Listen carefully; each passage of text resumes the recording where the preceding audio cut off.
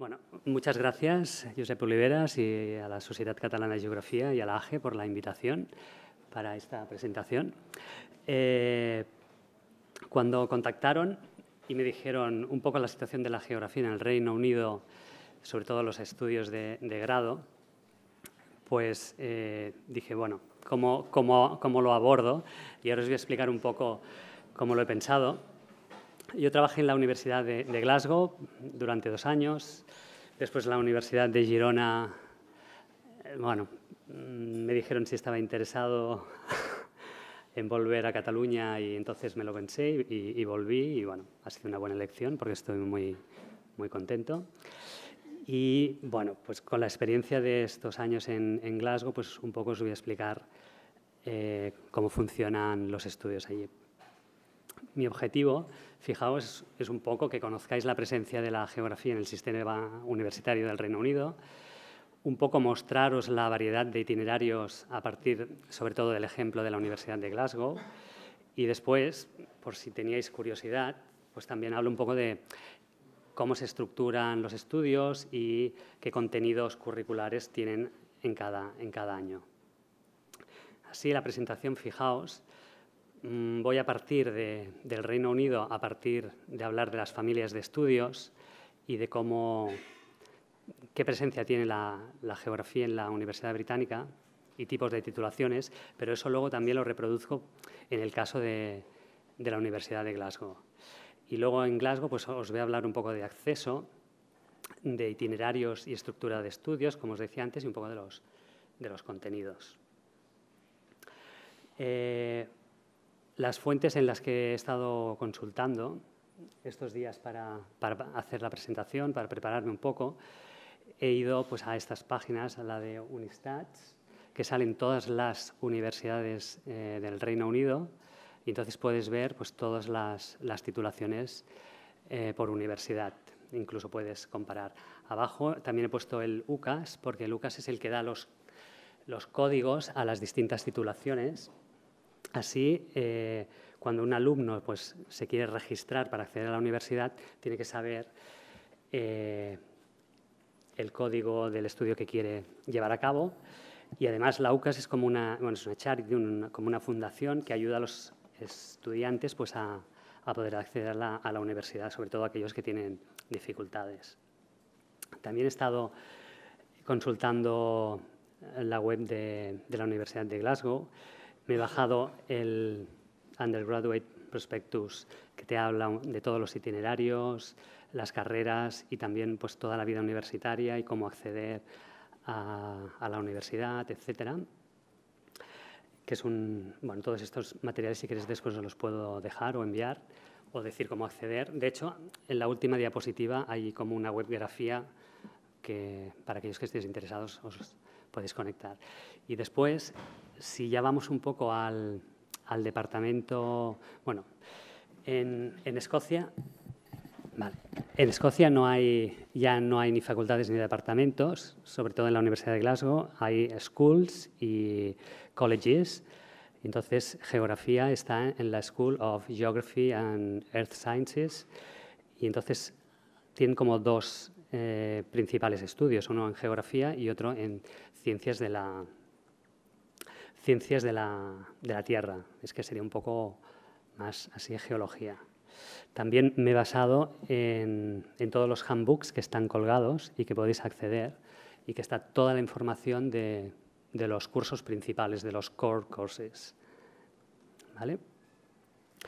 Eh, antes de continuar, mm, he hecho como un resumen de las características o aquello que creo que es más distintivo del, Reino Unido. Eh, y también de la Universidad de Glasgow, y es que los programas, sobre todo las, lo que serían los grados o los honors programs, mm, son muy flexibles. ¿Qué quiere decir esto? Pues que sí que hay unas asignaturas obligatorias, pero que hay muchas eh, que son optativas. Es decir, que la estructura no es nada, no es nada rígido. Después hay muchos itinerarios. ¿Esto qué quiere decir? Pues que eh, para aquellos que quieren combinar la geografía pues, con eh, estudiar español, pues lo pueden hacer. Luego os voy a enseñar ejemplos. Es decir, que hay muchos itinerarios porque hay muchas alianzas pues, con otros bueno, con otras escuelas y, disciplinas. Eh, por otra parte, también decir que en el Reino Unido el estudio de la geografía es muy amplio. Va desde estudios que son más interculturales a todo lo contrario, más mm, basados pues, en ciencias de la Tierra. Eh, y eso, pues claro, también ayuda a que puedan haber estas alianzas que antes os decía. Entonces, aquí, como la palabra clave que he querido, o las palabras claves que he querido destacar son la amplitud, la especialización, ¿eh? amplitud por una banda, pero especialización por otra, y también la adaptabilidad. Y después, eh, como os decía antes, en la Universidad de Glasgow la geografía está unida a ciencias de la, de la Tierra. Entonces, eh, aquí justamente estamos mucho más en, el ámbito más, más social. Entonces, es algo que nos podría ayudar también a pensar. La UCAS, que os mencionaba antes, eh, reúne las 21 familias de estudios que veis aquí y me costó encontrar la geografía porque aún poniendo la palabra clave costaba. Entonces entrando en las que creía que eran más cercanas, pues entonces pueden ver que la geografía aparece como Physical Geography, Geographical Sciences en Physical Sciences y después, y después Human and Social Geography en Social Studies. Es decir, aparece en estas familias como fragmentada y en, estas dos de forma principal.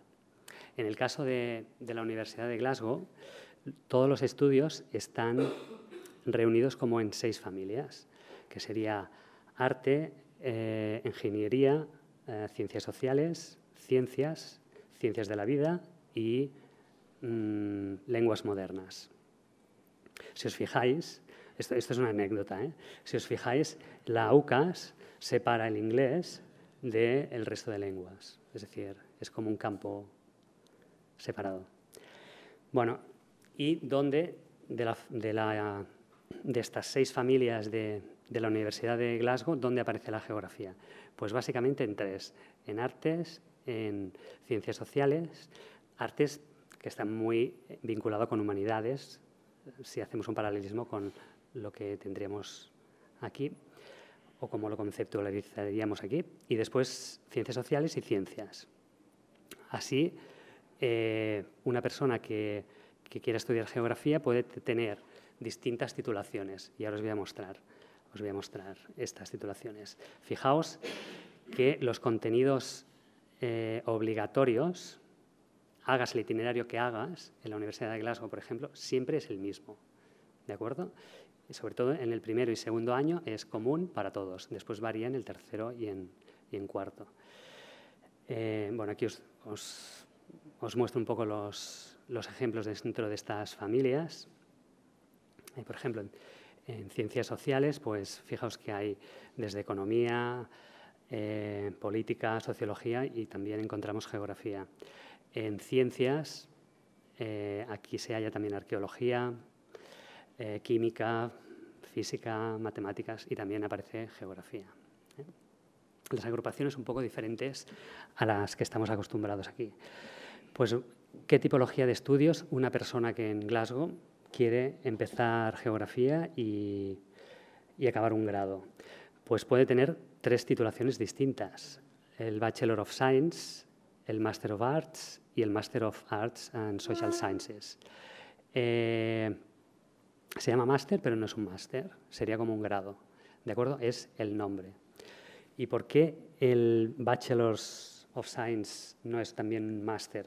Pues porque sí que hay un máster, pero este máster es decir, este nombre en, ciencias son cinco años, es un año más y requiere un año de prácticas en empresas o prácticas en, el mundo externo de la universidad, pues más cercano al mundo laboral. Pero geografía no tiene esa opción, ¿de acuerdo? Es decir, no, no tiene la opción. Si os fijáis, eh, se puede estudiar geografía y tener el Bachelor of Sciences, pero no, y lo puedes tener solo en geografía, o puede haber eh, lo que llaman ellos joint degree, es decir, una titulación combinada. Fijaos que aquí está con arqueología, con computing science, con matemáticas y con estadística. Es curiosa la, alianza con, matemáticas. ¿eh? Eh, en ciencias sociales, fijaos que también, lo que os decía antes, también puede ser geografía sola. Lo que veis al lado sería el UCAS Code, que os, que os he dicho antes, pero fijaos que puedes eh, hacer un combine, un join degree con... Eh, sería como administración de empresas y economía, pero también con estudios eh, del centro y, centro y este europeo, mm, social history, economía, política, sociología. Fijaos que hay como muchos itinerarios, muchas posibilidades. Y si ahora os enseño el de arte, pues este ya se abre, el abanico ya es increíble. Eh, yo recuerdo que en el PGD de, Geografía en, en, Glasgow tenía una alumna que me había venido de Geografía con español. Entonces yo dije, oh, qué bien, me va a salvar, me va a ayudar mucho. Después nunca hablamos en, en, castellano, pero ella hizo el Spanish and Geography. Y normalmente estos estudiantes también pueden tener un año para irse afuera, al país de la lengua para, practicarla. Y fijaos que hay también otras eh, dobles titulaciones como geografía y música. Geografía e historia, pues esto ya es un poco más cercano a nosotros, pero bueno, geografía y estudios celtas. Es decir, hay bueno, una variedad muy grande. Eh, una cosa que, que he pensado que era interesante que hablásemos. Para acceder a los estudios de, geografía, eh, mm, los estudiantes pueden venir como de tres, contemplan de tres eh, procedencias distintas, del, resto del Reino Unido, y de ahí que veáis los A-levels, sobre todo de Inglaterra. Eh, y fijaos que para el requerimiento estándar es de dos A's y una B, es decir, que es, bastante alto. Eh, en la segunda opción, que pone Hires, este es el sistema educativo escocés. ¿De acuerdo? El sistema educativo escocés eh, hace unos años cambió, ahora se llama, eh, bueno, está estructurado a partir de lo que se llama el Curriculum for Excellence y contempla desde la educación primaria hasta los 18 años. Entonces, antes he hablado con, una colega que ha presentado esta mañana para saber un poco cómo, cómo ella ha hecho la presentación y para un poco y me ha explicado que ha hecho un poco recorrido sobre lo que sería la educación secundaria. Dejadme que os explique brevemente que la educación secundaria en, en Escocia es muy distinta a lo que estamos acostumbrados aquí. Por eso no hay tanto fracaso escolar porque todo el mundo acaba con un título. Si aquí los, nuestros estudiantes acaban con un título de ESO, tienen todos que haber aprobado primero, segundo, tercero y cuarto de eso, sobre todo el cuarto, ¿no? bueno, y los demás también. Pero, y todos tienen las mismas asignaturas y tienen que aprobar mínimo un 5 todas esas asignaturas. En Escocia es distinto. En Escocia hay eh, unos distintos niveles se han, cambiado en los tres últimos años, han cambiado, pero eh, aquí que veis hires, el máximo nivel sería un advanced hire. por debajo estaría el higher y después bueno, vendrían los National 3, National 4, National 5, que es, bueno, es como una clasificación que tienen. Entonces, todos los estudiantes, de acuerdo con sus familias y de acuerdo con, su con el profesorado, deciden sobre todo a, partir de, los 13, 14 años, deciden qué nivel de cada asignatura, por ejemplo, si quieren escoger geografía, si van a optar por un National 5, si quieren hacer un Highers o un Advanced Highers. Eh, está claro que para hacer un Advanced Highers tienes que, tienes que haber pasado por el Highers y al revés, y, lo mismo, ¿no? Para ah, ir al Highers tienes que haber pasado el, el National 5. ¿Qué pasa? Que si el profesorado no recomienda que hagas el máximo nivel y lo haces y suspendes, pues no tienes, no tienes titulación. Pero si apruebas ese máximo nivel, te conduce directamente al segundo año de... Es decir, te puedes ahorrar algunas asignaturas del primer año de carrera. ¿Me explico? Ahora, esto os lo voy a enseñar ahora. Fijaos, veis que, que hay dos opciones. Cuando accedes puedes hacer una advanced entry, que es decir, en vez de empezar en primero, entras directamente en segundo. Pero eso quiere decir que tienes que tener muchos advanced hires y dentro de la familia que podría estar dentro pues, de la geografía o si haces algo más en social sciences, pues de la familia de ciencias sociales. Evidentemente, para que esto tenga lugar, tienes que hacer una entrevista con el profesorado de la, de la universidad. ¿De acuerdo? Y los requerimientos son que aparte de tener estos advanced hires, tienes que tener tres de ellos y con la máxima nota. ¿De acuerdo? También se puede hacer una ruta más rápida y es condensar los cuatro años en tres. Es decir, que hay también diversidad de... Es decir, para acceder puedes acceder de muchísimas maneras. Incluso después puedes ir cambiando el itinerario. Y ahora os voy a enseñar el itinerario normal del Master uh, of Social Sciences de la especialidad de Geografía. Normalmente en el primer año se escogerían tres eh, core eh, subjects. Y imaginaos, aquí he puesto más a la izquierda la geografía. Pues, pues que sería la, la disciplina mm, principal que escogería el alumno. Después podría escoger dos más de, ciencias sociales y aquí os he puesto sociología y políticas. Entonces, fijaos que pone año 1, nivel 1. En el segundo año tendríamos otra vez geografía a nivel 2, sociología a nivel 2 y la tercera puede ser que continúes con la que ya has hecho en el primer año, en este caso políticas, nivel 2, o cambias y haces otra, en este caso economía, a nivel 1. ¿De acuerdo? ¿Qué pasa? Aprobando el primer año es necesario y es necesario con una nota de un C3 para poder ir al segundo año. Y del segundo año necesitas también un C3 para pasar al tercer año. Teniendo estas notas ya pasas al tercer año, pero las notas del primer y segundo año no cuentan. Es decir, para tu eh, final degree, es decir, para tu nota final de, de grado, solo van a contar los años 3 y 4. ¿De acuerdo?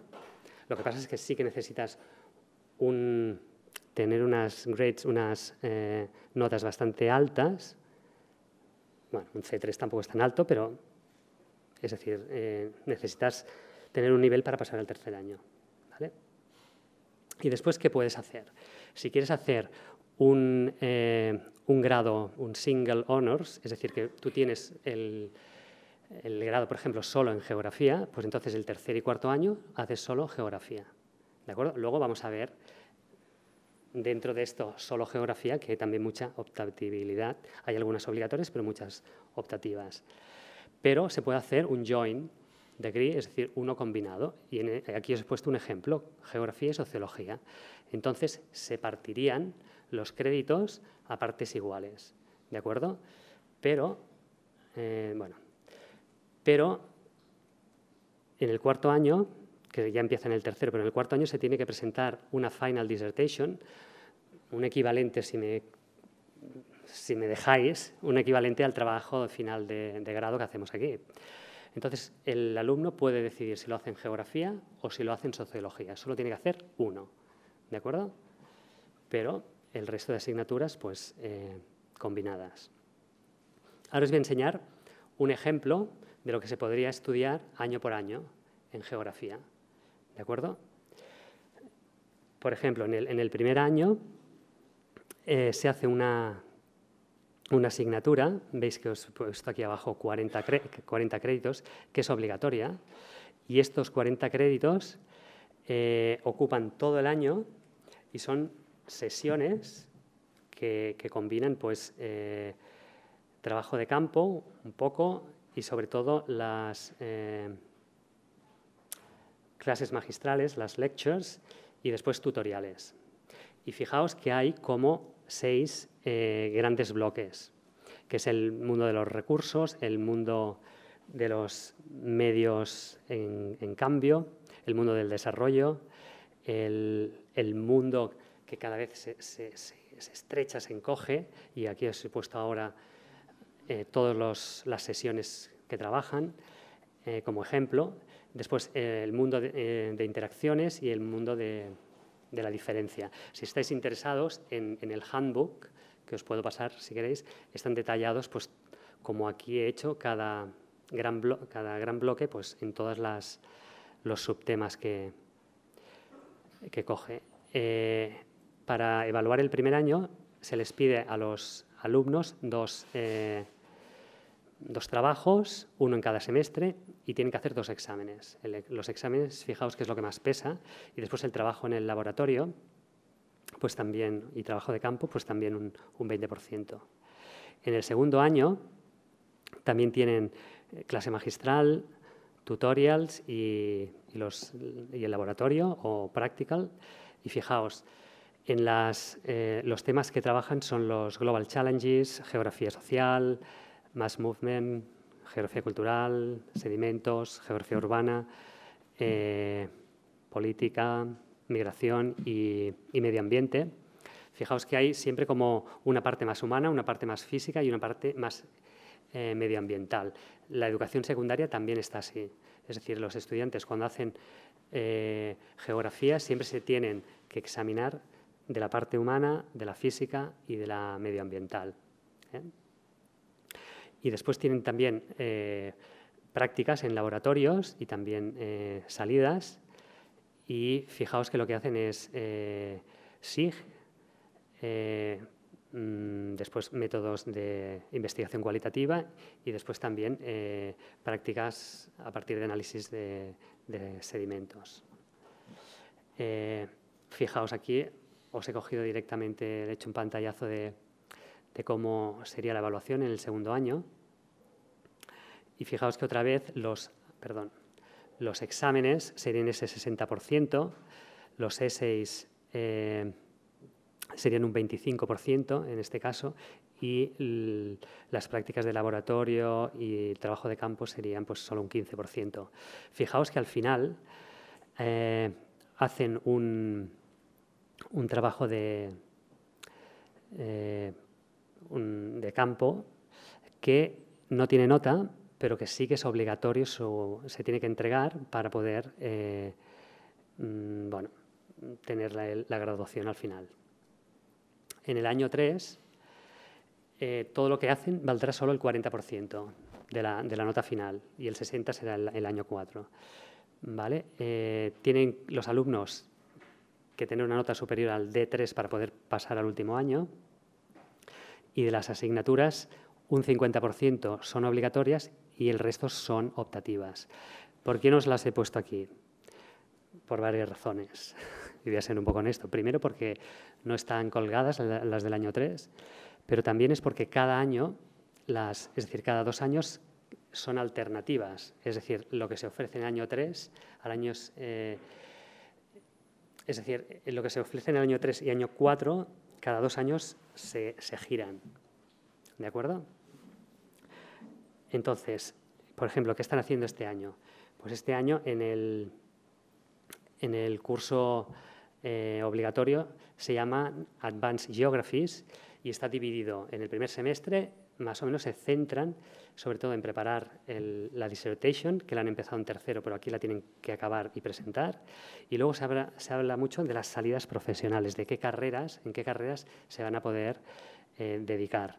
Y en el segundo semestre, en cambio, es como una geografía más académica, se estudia un poco pues, toda la, investigación. Es decir, eh, supongo que es un poco también orientar a quien quiera hacer doctorado. ¿no? Pero bueno, es, una geografía más de reflexión y de, y de, mm, de la geografía más académica. ¿De acuerdo? Aquí tenéis, por ejemplo, de, de las optativas que os decía antes, fijaos que se pueden hacer sí, se pueden hacer se pueden hacer muchísimas, ¿no? Y hay algunas que valen 20 créditos y otras, y otras 10. Mm, eh, no sé si queréis que, os las lea, ya, las estáis leyendo vosotros y, ya he visto vuestra reacción, con lo cual, eh, eh, bueno, entonces veis que hay muchísima variedad. Es decir, que muy poca rigidez. y esto si, bueno, lo que os decía antes, si hacen un join, en vez de hacerlo solo de geografía, pues la mitad de los créditos tendría que ser de geografía, los core courses sí que se, tendrían que ser los de las dos especialidades y entonces caería un poco lo que es la optatividad, ¿de acuerdo? Y solo, lo que os decía antes, un único trabajo final de grado al final. Y, y esto sería un poco como se, se evalúa, esta es la asignatura obligatoria y tiene mucho peso pues, la presentación de, la dissertation y también cómo evalúas a, los otros eh, alumnos. Pero os tengo que decir una cosa, esto a mí me, costaba horrores. Es decir, siempre todo el mundo lo hacía todo muy bien. Es decir, de crítica, muy poca. Es decir, a veces eh, mm, para que encontrasen algún aspecto a mejorar costaba. Es decir, que los alumnos criticasen en negativo a sus colegas eh, costaba mucho. No, no, hay esa cultura, a lo mejor aquí somos más prestados a ello. ¿no? Eh, después, fijaos, los seminarios, porque los seminarios en el cuarto año eh, los, los preparaban los alumnos. Podían elegir la temática y lo, lo prepararon ellos. Después un, un, poster presentation y al final eh, un examen que se llevaban y hacían en casa. ¿eh? Aquí, es decir, tienen todos los medios a su eh, disposición, pero bueno, es, un examen complejo. Y bueno, quiero acabar con cosas para la reflexión final y es, primero, que, claro, pensamos muchas veces en la geografía, en sobre cómo están los estudios de geografía, pero la geografía también, y lo digo yo porque yo vengo de, una facultad de educación, que soy el encargado de hacer la geografía, la didáctica de la geografía, pero también la, la geografía, porque no tenemos contenidos de geografía que vengan de la Facultad de Letras, en este caso de, la de Girona. Es decir, no tenemos a nadie de geografía que nos vengan a hacer en el grado, por ejemplo, de educación primaria, eh, contenidos de geografía. Entonces, lo que yo digo es que eh, sí que hay eh, geografía más allá de los departamentos de geografía y de, las, de los grados en geografía, y sobre todo ahora, en los últimos años, supongo que estaréis más o menos al corriente, pero desde el realismo social, está lo que llaman ellos el knowledge turn, porque ahora se está volviendo a lo que es el conocimiento, sobre todo en las facultades de educación, es que se tenga otra vez conocimiento disciplinar, porque se decía que lo que se hacía era todo didáctico, todo era socioconstructivismo, que hablaba de cómo hacer las cosas, pero no nada de contenido. Y la verdad es que esto es un problema. ¿eh? Yo, veo las horas que tengo para hacer geografía en cuatro años de, grado de educación primaria digo, es que no tienen... Mm, hay que hacer algo. Y el segundo aspecto, y esto eh, os, explicaré una cosa que os gustará o que a mí me gustaba bastante y por eso lo hago extensible a vosotros, eh, que pasaba en Escocia. Aquí, en el máster de secundaria, tenemos, mira, yo este año tengo 34 alumnos y si seis son de geografía, de la especialidad de ciencias sociales, es decir, si seis son de geografía es porque tengo mucha suerte. ¿Qué quiero decir? Eh, que en secundaria la mayoría del profesorado que da geografía e historia son historiadores, con lo cual, muchos de ellos no tienen bastante eh, conocimiento de la disciplina de geografía mm, como yo creo que debería ser. En Escocia esto no es así. En Escocia, eh, Primero, cada año hacen una previsión de cuántos, de cuánto profesorado de geografía se necesita para secundaria. Normalmente, en los años que estuve, eran alrededor de 30. Eso quería decir que para la Universidad de Glasgow, para la Universidad de Stirling y para la Universidad de Edimburgo, se les adjudicaban 10 a cada universidad. ¿De acuerdo? Esos 10 alumnos tenían que ser de geografía, porque aplicaban al PGDE, que es el posgrado, el postgraduate diploma en enseñanza de la, de la geografía, y los que querían hacer historia hacían lo mismo, pero para historia, y los que querían hacer, porque eh, también tenemos otras, tienen otra especialidad allí que se llama Modern Studies, que es un poco lo que también se hace aquí en secundaria, pero que no queda, que, sería un poco como algunos temas que haríamos en geografía, pero que allí pertenecen a Modern Studies. Entonces hay estos tres itinerarios. Entonces te aseguras que quien va a hacer geografía eh, sepa un poco. Entonces, y me diréis, ¿y cómo se escogen a los estudiantes con la grande, el, abanico ese tan grande que hay? Pues entonces hay toda una serie de criterios de que tienen que tener, mm, sobre todo para el primer bloque de los dos años y para el segundo bloque del tercero y cuarto, tienen que tener mínimo 30 créditos en cada bloque, pero además tienen que ser créditos dentro de Human Geography, Physical Geography, y después la, ambiental, la Environmental Geography.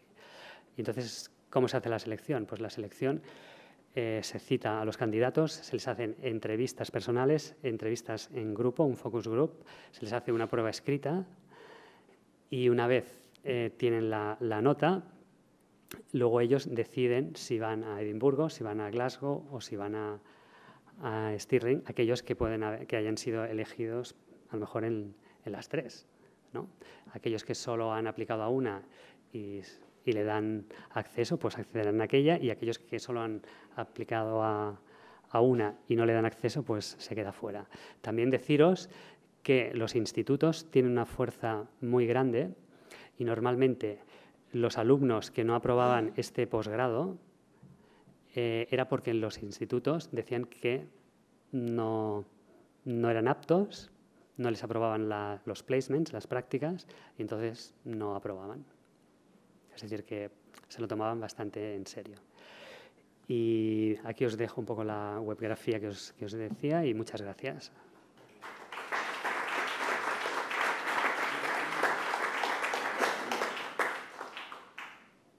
Eh, hola, ¿qué tal? Buenas tardes. Eh, soy Ernest Ruiz, eh, profesor asociado en el Departamento de Geografía de la Universidad de Barcelona y eh, geógrafo profesional.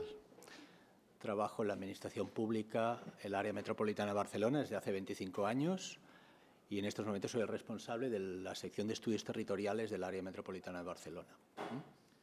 Eh, Nuria Benac, que es una compañera de departamento, me habló y me puso en contacto con Josep para que viniese a explicar, gracias, para que viniera a explicar mi experiencia formativa en una universidad extranjera, que es de lo que se trataba esta, jornada.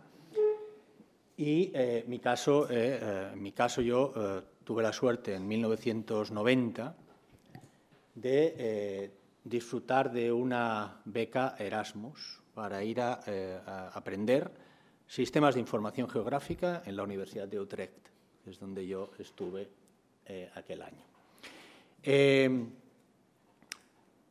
estuve relativamente poco tiempo, pero fue un tiempo realmente muy bien aprovechado. Estuvimos cuatro meses, pero trabajar de nueve a cinco encerrado en una habitación sin ventanas da mucho de sí. ¿eh? Pude aprender muchísimo durante aquellos meses y la suerte que tuve luego es que durante tres años estuve trabajando como investigador en el Departamento de Geografía, de 1990 al 93, trabajando con sistemas de información geográfica. De aquella época hay un librito que se llama Fundamentos de los Sistemas de Información Geográfica, publicado en Ariel, que escribí junto a David Comas. y, eh, y, de aquella época también es eh, un año de profesor asociado en la Escuela de Topografía de la Universidad Politécnica de Cataluña, eh, ocho años más eh, de profesor en el máster de esta misma escuela, porque en geografía no había en aquellos momentos en la facultad ni máster ni posgrado en esta temática, por lo tanto yo estaba trabajando en la UPC, y desde 2007, otra vez, eh, como profesor asociado, durante unos años compaginando el profesor asociado con la subdirección de un máster en sistemas de información geográfica en esta misma universidad y desde, bueno, pues desde esta época, bueno, durante todos estos años, combinando, desde 1993, de hecho, combinando la docencia con el ejercicio profesional de la geografía. ¿De acuerdo? Eh, no sé si hay, todavía está Oriol Nelo por aquí, el, geógrafo. Ah, tengo que marchar. Muy bien somos algunos geógrafos, trabajamos en el ámbito profesional y en las, administraciones. Uriol es el que, ha tenido el cargo más alto, ¿eh? ha sido secretario de Planificación Territorial, pero bueno, somos algunos ¿eh? Eh, que intentamos pues, defender la profesión y la especialidad que nosotros practicamos. Lo que hoy os voy a explicar brevemente va a ser lo que yo hice en Holanda hace 28 años, que no es poco. Eh, yo fui a aprender SIC, aquí no se podía aprender eso. Y, Carlos Carreras me envió allí. Habían dos plazas para estudiar SIC, a mí los ordenadores se me daban bien y como no había prácticamente nadie que tuviese esas habilidades y en esos momentos tampoco demasiado interés por irse fuera por diversas circunstancias, económicas, idioma, etcétera, etcétera, pues mm, mm, me tocó, digamos así. Y como os dije, como os dijo, como os digo, lo, intenté aprovechar al máximo. ¿no? Yo de hecho digo continuamente que aquellos meses cambiaron mi vida como geógrafo. Yo trabajo de lo que trabajo porque estuve cuatro meses estudiando lo que yo estudié allí y enseño lo que enseño porque durante esos cuatro meses y evidentemente durante el resto de mis 25 años de actividad profesional, pues he trabajado con sistemas de información geográfica, evidentemente, pero sobre todo he trabajado en geografía, que lo que yo cada día hago en, esta, en este ámbito profesional que yo desarrollo mis actividades es hago geografía. Yo lo que explico es eso a mis, a mis compañeros, que todos son geógrafos, yo me preocupo. Practico el, corporativismo que practican otros profesionales que tengo, que tengo a mi alrededor, básicamente arquitectos. Yo lo practico a, mi pesar porque me gusta ese, ese, esa, esa faceta corporativa, pero como ellos lo hacen, pues digamos, por defender lo que nos toca, pues también practico eso. Y, a mi alrededor hay geógrafas y geógrafas excelentes que trabajan pues, en, los, en el ámbito de, trabajo de, que, que, desarrolla mi administración. Yo estoy dentro de una dirección de, de urbanismo y realizamos pues, estudios geográficos, de carácter geográfico, económicos, demográficos, territoriales, para toda la administración metropolitana. Y de esa experiencia, pues yo pues, explico una parte de lo que yo hago en la, facultad. Concretamente lo que explico es, doy una asignatura que se llama Sistemas de Información Geográfica Avanzados. ¿De acuerdo? Os voy a explicar un poco lo que... Bueno, cuando Giuseppe contactó conmigo me pidió que explicase esta, esta digamos, esta actividad que yo eh, realicé hace tanto tiempo en Holanda y eh, me envió un cuestionario. De hecho, me envió una serie de preguntitas ¿eh? que, yo, como que soy muy aplicado y muy obediente, he procurado, no, no, sí, sí, se tiene que hacer, he procurado responder. No yo, sino otras personas eh, que, creía que, sabían más que yo. Lo que hice fue enviar este cuestionario a dos personas. Uno a uno de los profesores que tuve en Holanda y, al final no ha, no ha respondido. Y otro a un profesor de una universidad iberoamericana muy pequeñita que sí que ha respondido y luego veréis lo que dice al respecto de las preguntas que Josep formulaba. ¿De acuerdo? Yo estudié en la Universidad de Utrecht, como os digo, hace 28 años y fue allí a aprender porque tenían un equipo pionero a nivel mundial sobre sistemas de información geográfica. Allí trabajaba Peter Burro, que no sé si os sonará, pero eh, eh, Peter Burrow escribió el primer manual sobre sistemas de información geográfica que se publicó. Lo escribió en 1986, se llama Principles of Geographical Information Systems for Land Resources Assessment, está publicado en Oxford, y era el único manual de sistemas de información geográfica que había. Había otro tipo de publicaciones, pero el único manual era aquel, y aquel profesor estaba allí. Yo tuve la suerte de ir a caer allí, en un grupo, en un grupo de trabajo en que los sistemas de información geográfica en aquel momento, y ahora podíamos hablar de tecnologías de la información geográfica, eran clave. ¿De acuerdo? En aquel momento, como es ahora, la geografía estaba en este contexto que veis en esta diapositiva. La geografía no estaba en una facultad de humanidades, en una facultad de, digamos, más social, sino que estaba y está en estos momentos en una facultad que se llama de geociencias. ¿De acuerdo? Estas son las, este, este, grupo de, no sé si veis el ratón, el puntero del ratón, este grupo que queda aquí a la izquierda son las facultades de esta universidad. La Universidad de Utrecht es una, universidad relativamente pequeña, Utrecht es una ciudad pequeña, todas las ciudades de Holanda, digamos, son relativamente pequeñas. ¿no? Amsterdam, pues creo que son 800.000 habitantes lo que tiene, no es, no es mucho más grande. ¿no? Eh, pero como son tan pequeños, todos funcionan muy, muy relacionados, y el país también lo es. ¿no? Ya veréis que, por ejemplo, algunos de los grados que hacen son interuniversitarios, etcétera, etcétera. En este momento y en aquel momento, la Universidad de Utrecht, eh, la geografía estaba dentro de la Facultad de Geociencias. Estas son las facultades que tiene en este momento la, la Universidad de Utrecht, geociencias en donde estaríamos nosotros, humanidades, derecho, ciencias sociales, medicina y veterinaria. Una facultad de medicina muy buena, por cierto. Eh, y dentro de las geociencias, eh, en estos momentos existen estos departamentos y estos estudios que veis aquí. ¿Qué departamentos existen? Existe un departamento de geografía humana y planeamiento, existe un departamento de geografía física, existe un departamento de ciencias de la Tierra y existe un departamento que no he acabado de entender muy bien, que se llama innovación, ciencias, energía y medio ambiente, ¿de acuerdo? Que es un poco un cajón desastre quizás, ¿no? Estos departamentos imparten docencia en estos estudios que, eh, veis aquí. Hay un, digamos, hay un, bachelor de, geografía social y planeamiento, que serían, por los contenidos que tiene, es parecido a lo que sería nuestra geografía humana y regional. Uno de ciencias de la Tierra, que tiene que ver con esto, más con la geología y como nosotros entendemos más estas ciencias más, digamos, experimentales, si queréis llamarles así, geología, etcétera, etcétera, y ahí imparte geografía física y el Departamento de Ciencias de la Tierra, y son ciencias, digamos, duras, físicas, matemáticas, etcétera, etcétera. La geografía física está muy orientada hacia ese lado. Hay una, licenciatura, un grado en Ciencias de la Sociedad Global, que sería un equivalente a, lo que nosotros podríamos llamar Ciencias Ambientales. Y luego hay un, digamos, este cajón desastre que eh, denominan Ciencias Naturales y Gestión de la Innovación, que incluye materias relativas a economía, biología, energía, transporte, genética, medicina, salud. Como veis, una cosa muy heterogénea. Este grupo sería propiamente el de los estudios, digamos, de, grado, digamos, los bachelors que ellos los dan, y luego además tienen estos otros programas que veis a continuación.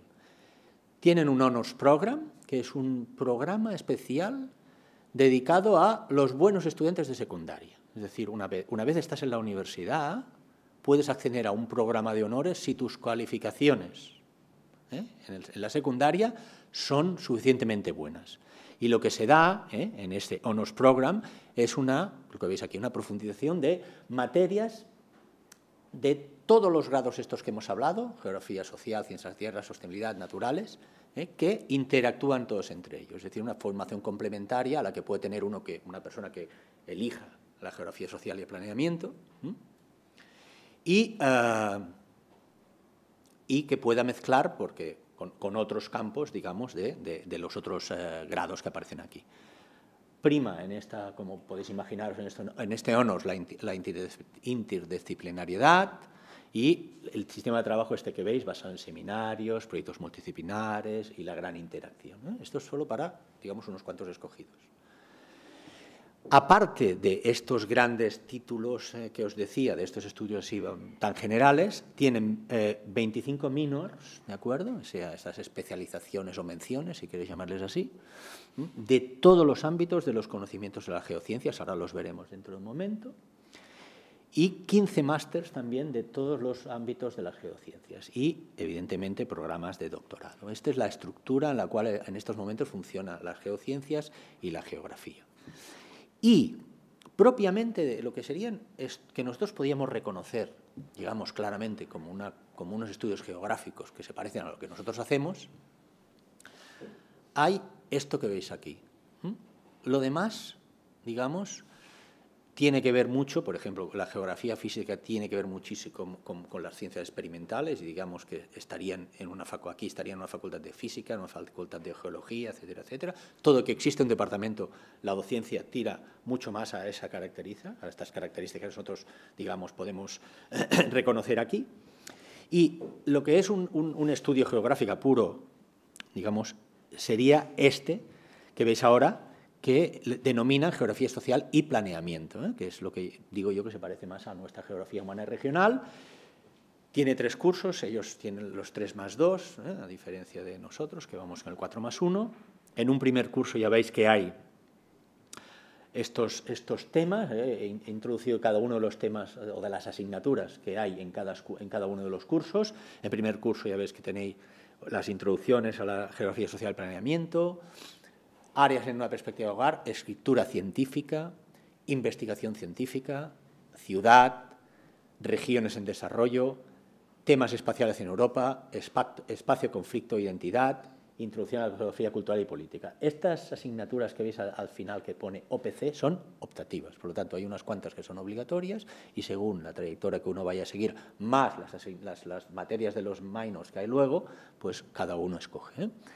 En segundo curso veis que tienen estadística, teoría de historia, teoría de planeamiento, métodos de investigación cualitativos, psique, cartografía, transporte, planeamiento. Bueno, ya veis que hay un poco, digamos, es un tema más, más bien general, de este ámbito humano y regional. La geografía física está en otro sitio. Y finalmente, en el tercer curso, pues como podéis ver aquí, ciudades, consumo de identidad, aquí hay más, más optatividad, ¿eh? Recordad, la OPC la, opcionalidad, geografía política, planeamiento, geografía más y medios, entrenamiento científico, etcétera, prácticas, talleres, etcétera. Este es el grado que básicamente se da desde el Departamento de Geografía Humana, ¿de acuerdo? Y eh, es lo que, eh, viendo lo que ellos dan, es lo que es fácilmente reconocible como la geografía más o menos que nosotros, digamos, trabajamos. Aparte de este, digamos, este curso general, como os decía, están los minors, que como veis hay esos 25 que decíamos aquí, y que eh, las siglas estas que tenéis detrás identifican el departamento que imparte este minor, ¿de acuerdo? CT es Ciencias de la Tierra, Geografía Física, y CEMA es eh, el departamento este, digamos, eh, que hace un poco de todo, y la GH es Geografía Humana. Y ya ves que hay, que hay de todo.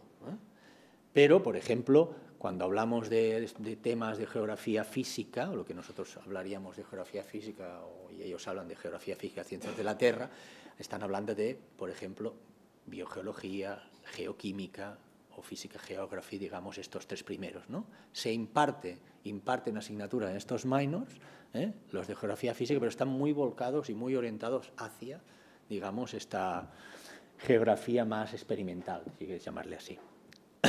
ya veis que hay de todo, ¿eh? hay de todos los ámbitos. En geografía humana hay geografía económica, está un minor de educational, ¿eh? de educación, hay, por ejemplo, eh, emprendeduría en ciencias de la tierra y salud, geologías, cambio global, bueno, planeamiento, evidentemente, geografía social, urban geography, etcétera, etcétera.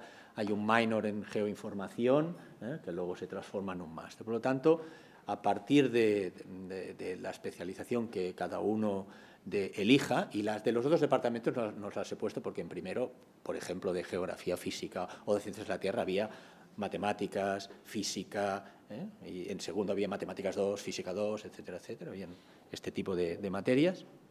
Como veis, las posibilidades de ir eh, manejando cada uno un recorrido pues, pues son amplias.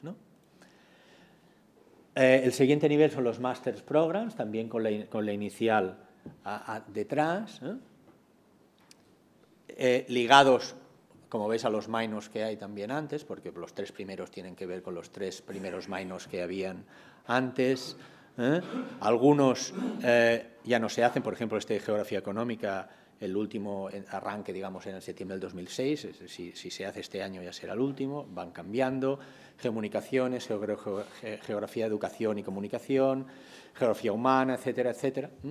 Y mm, a mí el que me interesaba, porque como esta gente son muy buenos en eso, el, máster de, eh, de, GIMA, de Geographical Information Management and Applications, es este máster interuniversitario que da Utrecht, Delft, Twente y Wageningen. ¿De acuerdo? Estas cuatro universidades dan un máster interuniversitario sobre eh, tecnologías de la información geográfica, si queréis llamarle así. ¿De acuerdo?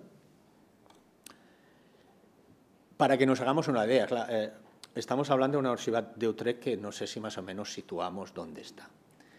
Bueno, pues está muy arriba, digamos. Si tenemos que buscar rankings después de todas las universidades, universidades que conocéis, Oxford, Cambridge, americanas, etcétera, etcétera, etcétera, aparece esta universidad, que ya os digo que es muy pequeñita. En el ranking QS está la número 30, ¿de acuerdo? Está muy arriba. En el Shanghai de 2017 está la segunda. Y en el CEBUR del año pasado, en cuanto a geografía física, está la primera. Con lo cual, no digamos, es una universidad pequeña, pero de unido lo que hacen. Eh, esta gente eh, es muy buena en muchas cosas. Es muy buena en muchas cosas. Hoy hablaba con algún compañero de, departamento, con Carlos Carreras, y él opinaba que probablemente, eh, aparte de Oxford y Cambridge, alguna universidad de este calibre, ellos serían, los, holandeses, estos de Utrecht, serían uno de los mejores centros donde estudiar geografía en Europa en estos momentos y hace tiempo, supongo que incluso para, para lo que yo fui a hacer, os aseguro que eran excelentes. Bueno, eh, hasta aquí más o menos esta, esta presentación de lo que hacen en esta universidad en concreto, ¿de acuerdo? La otra cosa que, que me, me, pidió que hiciese, o bueno, lo que me envió un cuestionario y yo eh, hice lo que os he explicado. Lo envié a uno de mis profesores eh, aquí y no ha respondido por lo que sé, porque pasa de mí, porque está muy ocupado, porque estaba la cochinchina y, eh, y, no, pudo responder. ¿eh? Pero lo envié a una universidad muy pequeñita que está el número 10.000 en el ranking QS o así, uno de estos rankings, yo no sabía que, hubiesen tan, tan, tantos números para, para calificar, pero está.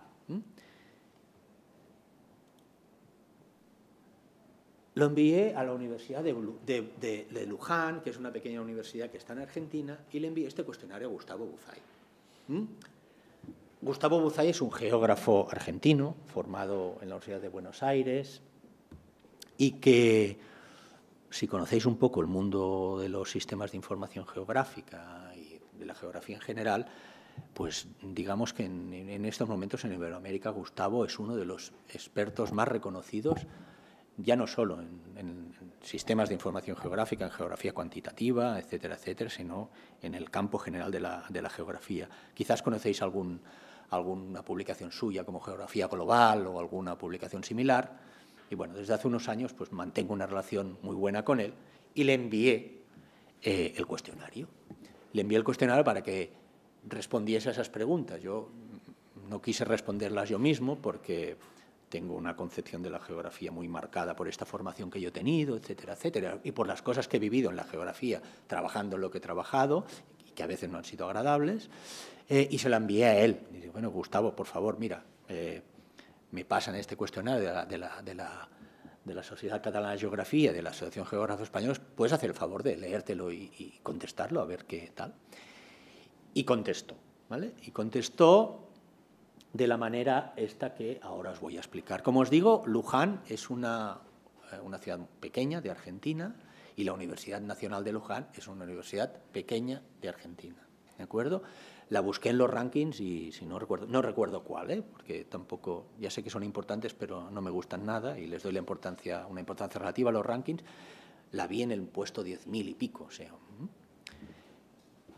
y lo que Gustavo me dijo, eh, eh, o lo que contesta en este, este cuestionario que, que me pasó, es que, eh, bueno, básicamente la geografía en estos momentos en Argentina o en esta universidad en concreto, en su universidad y en el Departamento de Ciencias Sociales, que es desde donde se imparte la geografía en la Universidad de Luján, va adelante gracias a que eh, abrazado de una manera muy importante las tecnologías de la información geográfica, ¿de acuerdo? Porque si no, en otras circunstancias, pues seguramente no hubiesen podido continuar.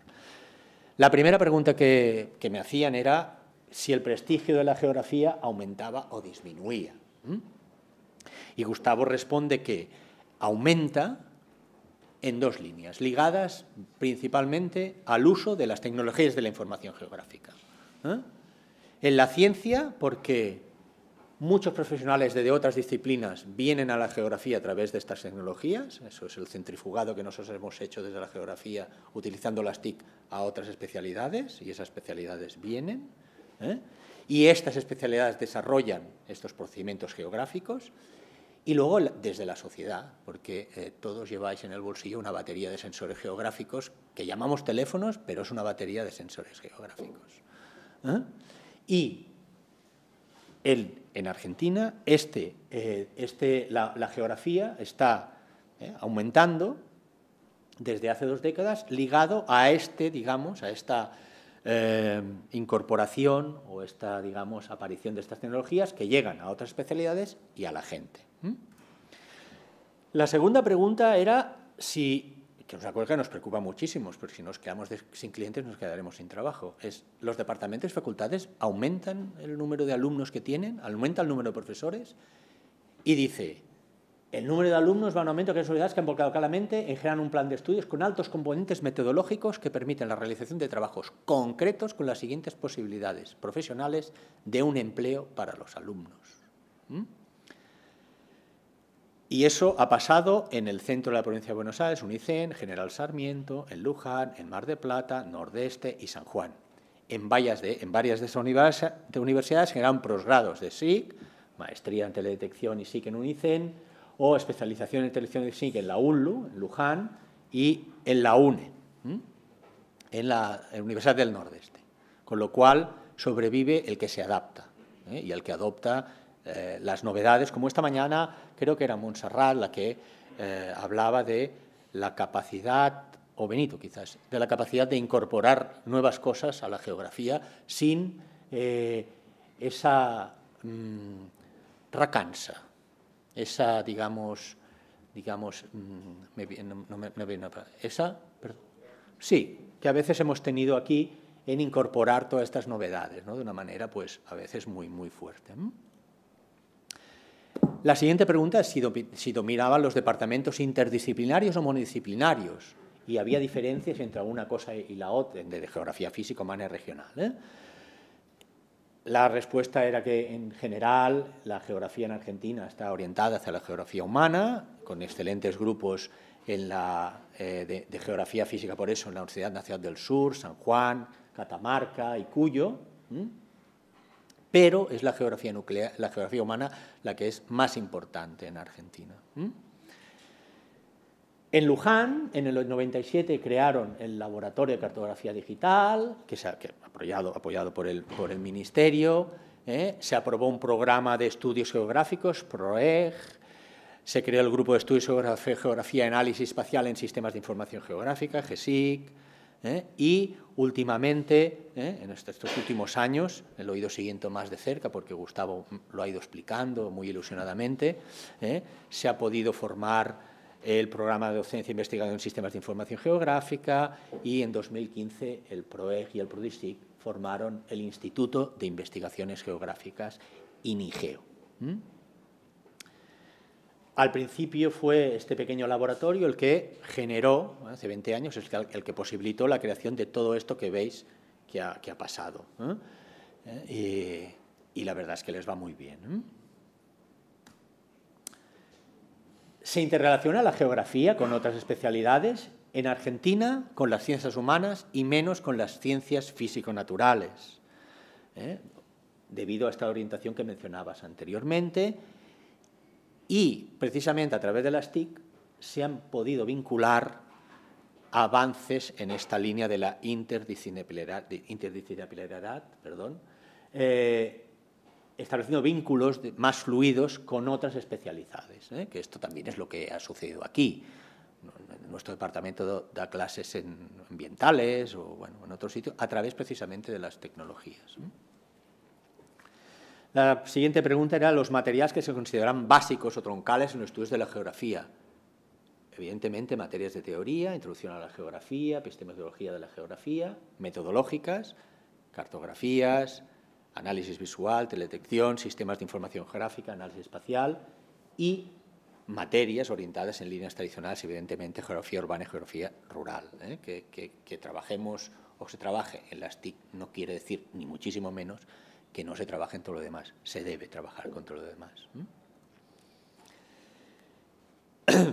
Siguiente, ¿qué otras materias optativas y complementarias podría haber en un plan de estudios? La asignatura que más alumnos tienes es proyectos de investigación con SIC. ¿eh? Es un seminario optativo eh, que primero se hizo desde, la sede en Luján de la UNLU y ahora se hace también en San Miguel, ¿eh? Y que primero se inició en geografía y que ahora imparten en formación ambiental y también en informática. Siguiente pregunta. ¿Son importantes los SIC y derivados? Son materias fundamentales. ¿eh? Eso me parece que hoy he, visto que más o menos eso lo tenemos asumidos, más o menos, y allí también pues, eh, sucede lo mismo. La siguiente pregunta es si hay prácticas en empresas e instituciones, hay pasantías ¿eh? de seis meses y existen estos convenios que veis aquí con municipios y empresas para realizar, digamos, becas, las pasantías de otros alumnos. Y si no me equivoco, la última pregunta era esta, de qué suelen trabajar los estudiantes cuando acaban sus estudios, porque la gente quiere trabajar. Profesores de escuela media, profesores de enseñanza superior y organismos públicos y empresas que trabajan con sistemas de información geográfica. A mí me pareció relevante eh, preguntarle a Gustavo Buzay esto, precisamente porque son una universidad muy pequeña, una universidad que lucha por sobrevivir ante universidades muy grandes, la UBA, por ejemplo, que será, pues, es una de las tres universidades más grandes de, Iberoamérica, junto con la UNAM y la USP. Eh, me pareció muy significativo porque han encontrado una vía, digamos, para pues, salvar o continuar o poder hacer geografía subiéndose al barco eh, o al tren de las tecnologías de la información geográfica. Eh, y les va muy bien, les va muy bien. Este año, siendo una universidad tan pequeña como es, organizarán la 17 Conferencia Iberoamericana de Sistemas de Información Geográfica. Son muy pequeños, pero lo harán. El papel de Gustavo Uzay es muy importante en este, en este, en este ámbito. Y eh, quizás a nosotros nos hubiese ido mejor si al principio, es decir, hace 28 años, hubiésemos sido quizás más receptivos a eso que ahora vemos tan natural, que son las tecnologías de la información geográfica, pero que en su momento eh, parecía que era como una especie de pecado trabajar en, ese, en, esos temas. Em, vuelvo al, inicio, donde he empezado. No sé cómo voy de tiempo. Y acá, es la última. Vuelvo a donde he empezado. Como os he dicho, eh, tengo una vertiente profesional, en el, área metropolitana de Barcelona. Y eh, imaginaos es importante la geografía en estos momentos, eso lo reconocemos todo, ¿no? El componente territorial y geográfico en estos momentos es clave, ¿eh? muchas cosas que pasan pueden, explicarse desde, con, una perspectiva geográfica. En los últimos seis meses en el área metropolitana se han llevado a cabo diversos concursos para provisión de lugares de trabajo e, eh,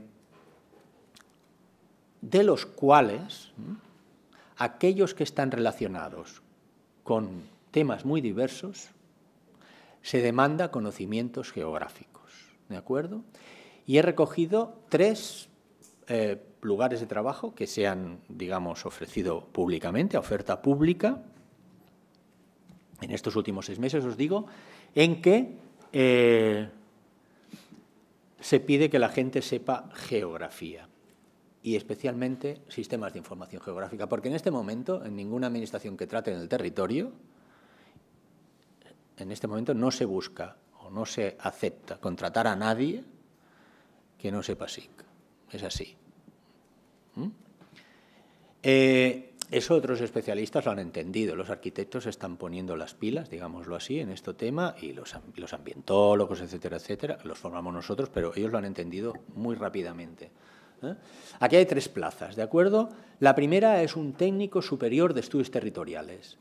En las bases de este concurso, como requisitos, como requisitos, eso significa que son unas, eh, son unas demandas excluyentes, es decir, si no se sabe esto, no se puede presentar uno al concurso, se pidían estas cosas. Literalmente es son las frases literadas copiadas de las bases de los concursos Conocimientos acreditados de demografía o estudios de la población, de estadística o técnicas cuantitativas y cualitativas de análisis de datos, de geografía humana y económica, de cartografía, sistemas de información geográfica y teledetección. Uno. Segundo, técnico de planificación estratégica, funciones del lugar del trabajo. ¿Qué tendrá que hacer la persona que irá a trabajar ahí?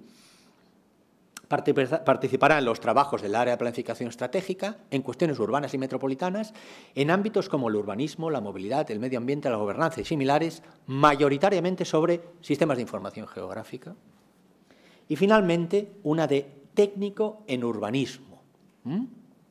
Estas dos primeras son dos lugares de trabajo para personas en formación, ¿eh? que tienen el, título finalizado hace menos de cinco años, pero este último es para un senior, ¿de acuerdo? Esto es una persona senior que ya tiene experiencia. Un técnico en urbanismo, en la tabla de méritos, en la tabla de méritos, perdón, de, de cinco puntos de los diez posibles, cinco van para experiencia profesional contrastada en el diseño, explotación y análisis y gestión de bases de datos georreferenciadas, que es una manera alambicada de decir sistemas de información geográfica, en el ámbito de la gestión en relación a los procedimientos administrativos vinculados a la planificación territorial y urbanística. He querido reunir estas tres, porque han sido, muy recientes, para que veáis ¿eh? la importancia, por un lado, que tiene el conocimiento geográfico en estos momentos, para que veáis la importancia que tiene la, metodología y los conceptos asociados a nuestra especialidad y, evidentemente, toda la cuestión de la capacidad de analizar datos utilizando las herramientas que tenemos, que son las mismas que tiene un médico cuando opera de una artroscopia y no te, te, mete una maquinita tal, no te abre y nadie le cuestiona. No, ábrame la rodilla para operarme. Aquí nos hemos llegado a cuestionar si teníamos que trabajar con sistemas de información geográfica, que es algo verdaderamente sorprendente. ¿no? Pero para que veáis en qué punto estamos, ¿eh? esto ya, es de hace años, pero esto es muy reciente, cómo eh, se, se, demanda clarísimamente este tipo de conocimientos. Y además, esto lo decía esta mañana alguien, cuando nos ven trabajar, primero se sorprende porque dicen, anda, no sabía que los geógrafos supieseis hacer esto. Por esto entender cualquier cosa. ¿eh? Aspectos demográficos, económicos, urbanos, de planeamiento, etcétera, etcétera. Y cuando nos ven delante de un ordenador, si nos movemos, digamos, con habilidades que hemos ido acumulando, ya es que alucinan del todo, ¿no? Pero eh, es muy importante eh, que no perdamos de vista, digamos, esta, esta digamos, situación que os intento describir. Bueno, eh, no me alargo más. Gracias. É, em primeiro lugar, agradecer a José Oliveiras a invitação. É um prazer uh, estar aqui e contribuir a esse debate tão inter muito interessante. É, aunque esteja aqui há 17 anos, eh, todavia tenho um vínculo muito forte com o Brasil, eh, tanto com relação, estive ali várias vezes como professora invitada e também eh, estou vinculada a programas de pós-grado, doutorado principalmente, e a grupos de investigação. Eu creio que é este o motivo por que o professor pois, me invitou para participar e dar minha opinião a respeito del grado, principalmente, não, professor, é, e alguma coisa de pós-grado, das universidades brasileiras. Bueno, rapidamente, como introdução, comentar que a instituição das primeiras universidades brasileiras fecham eh, da primeira metade do século XX, mais especificamente da década de 30.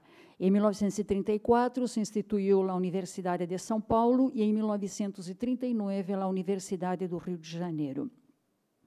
É, foram resultado da união de faculdades já existentes e outros institutos, é, como escolas politécnicas, etc. A, a instituição dessas universidades na década de 30 se seguiram muitas outras durante as décadas de 40, 50 e 60. Várias das universidades que vamos analisar aqui eh, foram instituídas nas décadas de 50 e de 60. Bom, em esse processo da incorporação de muitas universidades em estas décadas, eh, se foram incorporando um número cada vez maior, não? até o ponto de que agora, em 2018, em este ano, o território brasileiro conta já com cerca de 70 universidades federais, algo mais de uma trintena de universidades estaduais, pouco mais de uma dozena de universidades municipais e umas 100 universidades privadas. Aunque sua distribuição geográfica se ampliado na última década, a grande maioria de elas todavia se concentra em las regiões sudeste e sul do Brasil. São em total mais de 200 universidades, em las que um estudo realizado há uma década señalava que existiam mais de 400 departamentos em los que se impartiam a licenciatura gra, ou, ou el grado em geografia, ou ambos. Em esse estudo, apunta, esse estudo, perdão, apunta igualmente que na primeira década do século XXI havia uma predominância de licenciaturas, já que solamente um 20% dos departamentos de geografia impartiam, además de la licenciatura, el grado. Sin embargo, em los últimos anos ha havido um cambio relevante em essa situação. E tanto o grado como a licenciatura são atualmente impartidos por a maioria das universidades brasileiras. O estudo que hemos realizado com o propósito de analisar a situação da geografia nas universidades brasileiras confirma esta tendência. Este empreendeu, compreendeu uma investigação qualitativa e quantitativa em seis importantes universidades que dispõem de departamentos que, ademais de impartir o grado e a licenciatura em geografia, possuem programas de pós-grado, mestrado e doutorado em esta mesma área de conhecimento, razão por la que possuem uma grande importância acadêmica. Abro um parênteses o mestrado aqui se refere ao master vinculado à enseñança universitária. O mestrado foi criado um, em la década, finais da década de 70, início da de, década de 80, para formar professores para impartir assinaturas em las universidades. Hoje, claro, já temos o doutorado, logo depois se, se, se ampliou a oferta de doutorados, e hoje o mestrado, pois, é um passo para o doutorado. É uma etapa para o doutorado. Enquanto a metodologia aplicada em este estudo, se procedeu à solicitude de dados e se entrevistou a diretores, coordenadores ou professores de los departamentos e institutos que impartem a carreira de geografia. A continuação, essas informações foram compiladas e analisadas e se apresentam em este seminário.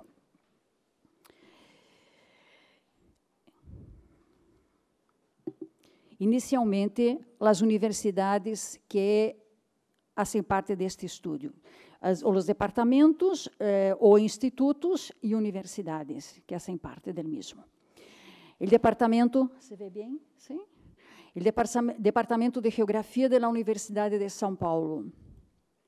O departamento de Geociências da Universidade Federal de Santa Catarina o Instituto de Estudos Socioambientais na Universidade Federal de Goiás, o Departamento de Geografia da Universidade Federal do Rio Grande do Norte, Departamento de Geociências da Universidade Federal da Paraíba e o Instituto de Geografia da Universidade Estadual do Rio de Janeiro. Tá? Então, o que vamos apresentar aqui é uma compilação de dados e de informações que nos deram representantes destes departamentos em universidades brasileiras. Bueno, eh, como eu creio que sucedeu com outros com outros ponentes, pois eh, o professor José Oliveiras nos passou alguns temas que seriam mais interessantes e a partir de los que eh, organizei, digamos, um, um perguntas ou questionários e solicitei dados, dados a los eh, entrevistados. Enquanto ao prestígio da geografia, das seis universidades entrevistadas, seis contestaram que se mantém. É a Universidade de São Paulo, a Universidade Federal de Santa Catarina e a Universidade Federal da Paraíba. Duas universidades contestaram que aumenta. A Universidade Estadual do Rio de Janeiro e na Universidade Federal do Rio Grande do Norte. E uma universidade que diminui. Vemos agora os motivos. Primeiramente, os motivos por os que o prestígio da geografia se mantém ou aumenta. Eh, as carreiras de geografia compreendem grado e a licenciatura, que são impartidos em dois períodos, diurno e noturno, o que favorece que os alunos conciliem trabalho e estudo. Eu coloquei esta, esta, este motivo porque em várias universidades brasileiras, brasileiras chegamos a ter para uma plaça oferecida, ofertada, ofertada, não? É, temos cinco, seis, sete, incluso oito interessados. Isso ocorre em várias universidades brasileiras. Um dos motivos é este, é que é, impartido em período noturno e o que possibilita que os alunos conciliem trabalho e estudos. Pero há um outro motivo muito importante também, é a oferta de cursos de pós-grado, mestrado e doutorado, que se ha consolidado la última década, o que estimula a jóvenes em la eleição de la carreira universitária hacia el grado ou la licenciatura em geografia. Um estudo, um informe de, de CAPES, CAPES uh, de 2017, afirma que los 64 departamentos de geografia com grado e licenciatura e programas de pós-grado evaluados, 37 possuem programas de mestrado e doutorado, e outros contam com programas de mestrado. Então, o mestrado, os másteres, os doutorados se ampliam muito em Brasil, e isso estimula a que jovens uh, optem por fazer o grado ou a licenciatura em geografia. Motivos pelos que o prestígio da geografia pode diminuir ou diminuir. A primeiro, a marginação das carreiras vinculadas às ciências humanas. Segundo, a recente aprovação da reformulação da enseñança média, que determina que só as assinaturas de português, matemática e inglês são obrigatórias. Essa reformulação foi aprovada agora, em fevereiro de 2018 e até então eram obrigatórias uh, eh, 13 assinaturas e a partir de agora passam são obrigatórias apenas três assinaturas.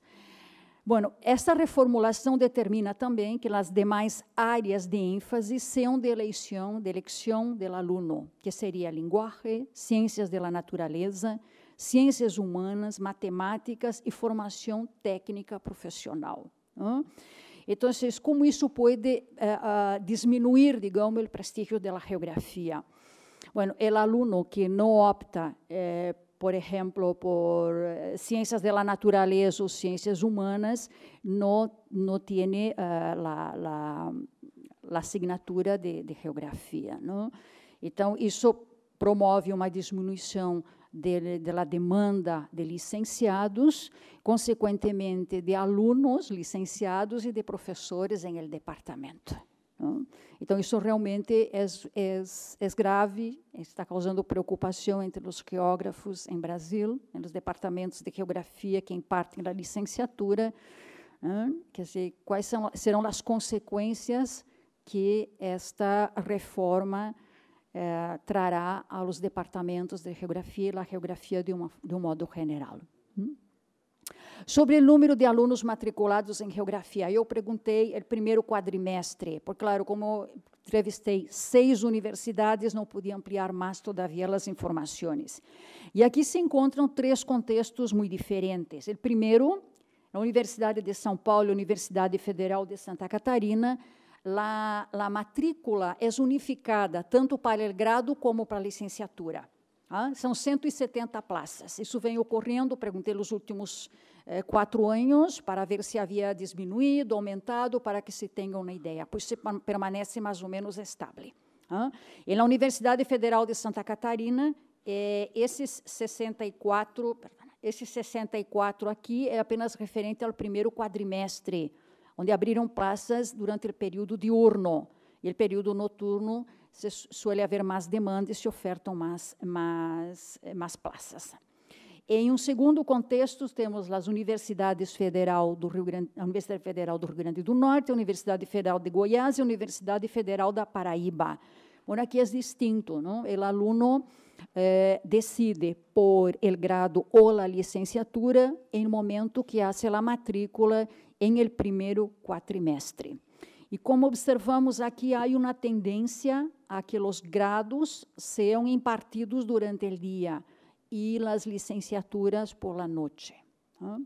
Por último, a Universidade Estadual do Rio de Janeiro, o Instituto de Geografia eh, imparte o grado, pero há outras eh, faculdades que pertencem à mesma universidade que impartem a licenciatura.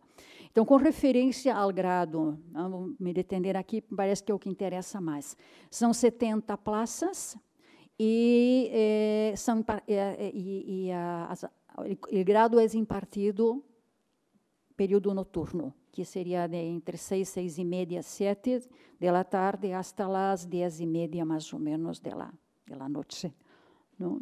E é interessante colocar, por exemplo, a Universidade Estadual do Rio, Grande, do Rio de Janeiro, em último, agora início de 2018, haviam sete interessados para uma plaça.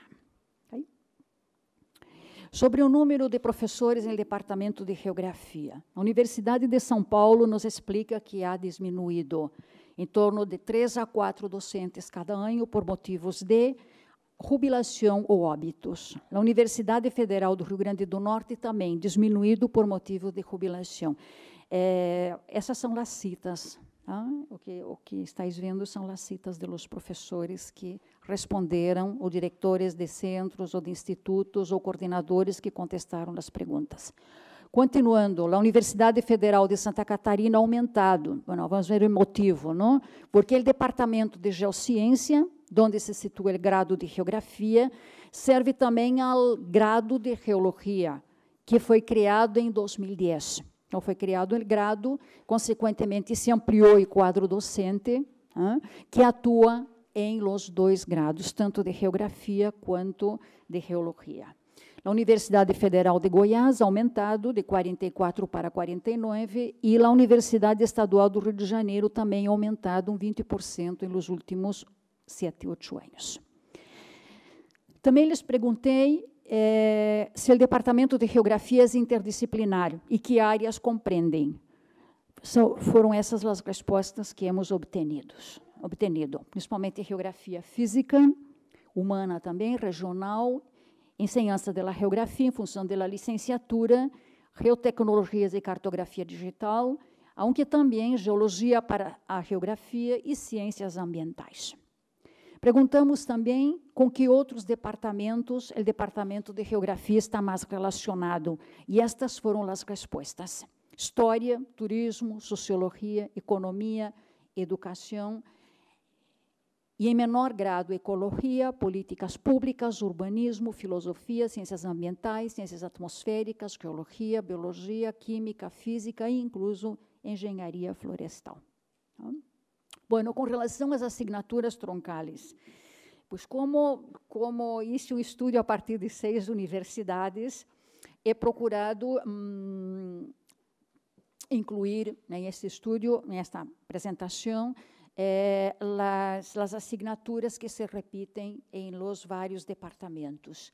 Eh, as colunas é porque é, aparecem com, de, com, diferentes denominações, são impartidas com diferentes denominações, por um conteúdo similar. Hein? Por exemplo, a organização do espaço pode ser impartida como formação socioespacial, regionalização do espaço brasileiro como organização regional do Brasil, organização do espaço mundial como regionalização do espaço mundial ou geografia do mundo contemporâneo. História Econômica Geral do Brasil, Formação Econômica e Territorial do Brasil. São, são denominações muito, muito similares. Também é comum aos grados a Geografia da População, Geografia Urbana ou Geografia Urbana do Brasil, Geografia Rural ou Geografia Agrária, e também pode ser impartida como Geografia e Movimentos Sociais no Campo. Geografia política ou geografia política e geopolítica do Brasil, territórios e redes, fundamentos econômicos, sociais e políticos da geografia, geografia econômica em alguns departamentos em lugar de geografia econômica, uma assinatura, se impartem duas assinaturas, geografia da indústria e geografia do comércio e serviços. É, também se encontram nos planos de estudos geografia cultural, que pode ser impartida como antropologia e estudo da cultura, ou geografia e relações é, étnico-sociais. Área de geografia física, climatologia pode ser impartida bajo diferentes denominações, como climatologia dinâmica, climatologia sistemática, climatologia e meteorologia, climatologia aplicada à geografia. O mesmo passa com geomorfologia, geomorfologia costeira, geomorfologia continental, geomorfologia climática. Também se encontram os planos de estudos geologia, geologia e recursos minerais, pedologia, hidrogeografia também, com diferentes denominações, recursos hídricos em geografia, geografia de cuencas hidrográficas, hidrologia. É, também encontramos biogeografia, eco, ecologia, análise ambiental, que pode ser impartida como planejamento ambiental, avaliação de impactos ambientais, riscos ambientais. E também estão presentes os trabalhos de campo, aplicado à análise ambiental, que, em el caso da Universidade Federal de Goiás, se denomina ecogeografia do Cerrado. Cerrado é o bioma de Brasil Central. Hum? Com, em âmbito das assinaturas de metodologia da geografia, teoria e métodos, técnicas e quantificação, encontramos as seguintes assinaturas: metodologia da ciência ou teoria e métodos da geografia, técnicas de pesquisa geográfica, teoria regional, estatística, que pode ser impartida como estatística descritiva, métodos estatísticos para a geografia, que depois vamos falar algo mais de estatística. Com referência à cartografia e geoprocessamento, também várias assinaturas com diferentes denominações, como cartografia, cartografia temática, elementos de cartografia sistemática, aerofotogrametria e fotointerpretação, sistemas de informação geográfica, análise e processamento digital de imagens.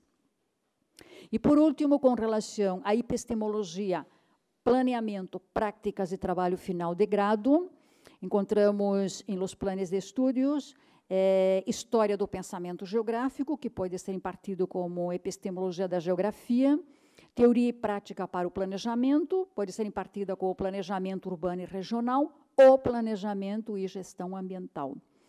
É, também se encontram as assinaturas de estágio de conclusão de curso, dois quadrimestres, o estágio curricular obrigatório, também dois quadrimestres. E o trabalho final de curso se imparte como TCC, projeto, trabalho de conclusão de curso, projeto, e projeto de monografia. Uh, volvemos agora às perguntas. Não? Que importância tem a assinatura de SIG para a formação dos geógrafos? As respostas foram unânimes, fundamental. Não? A Universidade de São Paulo nos explica que é, a maioria dos 312 alunos que fazem práticas remuneradas desenvolvem atividades vinculadas ao geoprocessamento. A Universidade Estadual do Rio de Janeiro, uma assinatura crucial, importantíssima para a formação do grado. A Universidade Federal de Santa Catarina, muito importante, começou como optativa, hoje é obrigatória. A Universidade Federal do Rio Grande do Norte também facilita a sistematização, espacialização de uma grande variedade de informações, possibilita análise, interpretação, genera produtos que subsidiam o planeamento, a gestão, enfim, âmbito público, privado. As universidades federal de Goiás e da Paraíba, a mesma coisa, fundamental, grande importância, uma importância crescente. Parece que isso é consenso, não? Não há, não há dúvidas. Com relação à estatística, passa ao revés. A Universidade de São Paulo nos explica que a assinatura é ofertada pelo Instituto de Matemática e Estatística e, na última reforma do plano de estudos, deixou de ser obrigatória, tornou-se optativa. E explica por quê. A proposta pedagógica da assinatura e a forma como era impartida aos alunos de humanidades não atendiam suas demandas. A Universidade Federal de Santa Catarina também nos explica que há pouca demanda e é motivo de preocupação. A Universidade Federal de Goiás também diz, apesar da importância reconhecida, não resume a perspectiva da análise geográfico. A Universidade Federal da Paraíba não comenta nada negativo, apenas que a assinatura é optativa, e na Universidade Estadual do Rio de Janeiro, eh, que é amplamente utilizada em los grados. É uma das universidades, que é a Federal do Rio Grande do Norte, uh, o plano de estudos não contempla a assinatura de estatística. Contempla, sim, quantificação e geografia. A estatística, não. Okay? Então, de los cinco que contemplam a assinatura de estatística, pois três nos explicam que não atendem às demandas dos geógrafos. Okay? Assinaturas optativas com maior demanda nos últimos anos. Bueno, de forma resumida, as assinaturas eh, que possuem maior demanda, não, não pedi todas, só as com maior demanda, estão vinculadas aos seguintes temas. Primeiro, SIG, geoprocessamento, análise espacial. Segundo, planeamento territorial, urbano, regional, ambiental, geografia das redes, do território, estudos de paisagem geográfico. Ah, algum ponente comentou esta manhã isto aqui, a importância dos estudos do paisaje. Não? É, terceira, terceiro tema com grande demanda, mais específico, geomorfologia aplicada, geomorfologia do quaternário, sedimentologia, geografia do ambiente costeiro, climatologia e incluso astrogeofísica. E, por último, temas mais recentes, como educação ambiental, eh, geografia da alimentação, permacultura, geografia cultural, geografia social e geografia de África. São temas mais, mais recentes. A Universidade de São Paulo nos enviou esta lista. Isso só para aqui, só para ter uma ideia. Aqui aparecem 2016, 2017. Aí fecha aqui com o cursor lá. Então, as assinaturas que se repetem, não consigo. As assinaturas que se repetem é porque são, foram impartidas, são impartidas duas vezes. Geografia econômica, migrações e trabalho. Aqui temos estágio supervisionado em climatologia, três grupos, e anualmente são ofertados cinco grupos. Estágio supervisionado em análise de suelos também. Aí eu creio que são tantos grupos porque é um número limitado por grupo. Hum? Okay? Seria mais ou menos isto. O grado de geografia contempla práticas em instituições ou empresas? Bueno, temos três contextos aqui. O primeiro contexto, os planos de estudo em los que as práticas são realizadas em uma assinatura obrigatória denominada estágio supervisionado, que seriam práticas supervisionadas, e podem ser impartidas em um ou dois quadrimestres. É o caso da Universidade Federal de Goiás, 220 horas, a partir do sexto período, sexto quadrimestre, ou a Universidade Federal da Paraíba, também sétimo, oitavo período, 250 a 300 horas. E a Universidade Estadual do Rio de Janeiro também. É, um segundo contexto, são os planos de estudo em los que as práticas são assinaturas optativas, também de um ou dois quadrimestres. É o caso da Universidade Federal de Santa Catarina. E uma terceira opção, uma, desculpa, um terceiro contexto, os planos de estudos que não contemplam as práticas em empresas ou instituições, pero que as mesmas são habituais entre os universitários. É o caso da Universidade de São Paulo, né? subralhei a parte principal. As práticas são realizadas por iniciativa dos alunos que buscam formação complementar e remuneração. Ah, e a Universidade Federal do Rio Grande do Norte. Okay? Por último, grado em Geografia, as opções de inserção no mercado laboral. Ah, essas foram as respostas que obtivemos. Grande parte das universidades nos afirmam que os egressos do grado de geografia encontram trabalho em los ayuntamientos, em las empresas de consultoria, em institutos de desenvolvimento sustentável, meio ambiente, outros tipos de institutos, também nas instituições de planeamento urbano e rural, aunque também a elaboração de estudos de impacto medioambiental. Em Brasil, para qualquer obra, qualquer projeto, é necessário a elaboração de um estudo dos impactos. E o geógrafo é solicitado para participar destes, dessa elaboração desses estudos e de, do informe que advém, que provém desses estudos. E também uma universidade, a Universidade Estadual do Rio de Janeiro, nos afirmou que o grado, que o egresso do grado também eh, possui opção laboral em setor do turismo.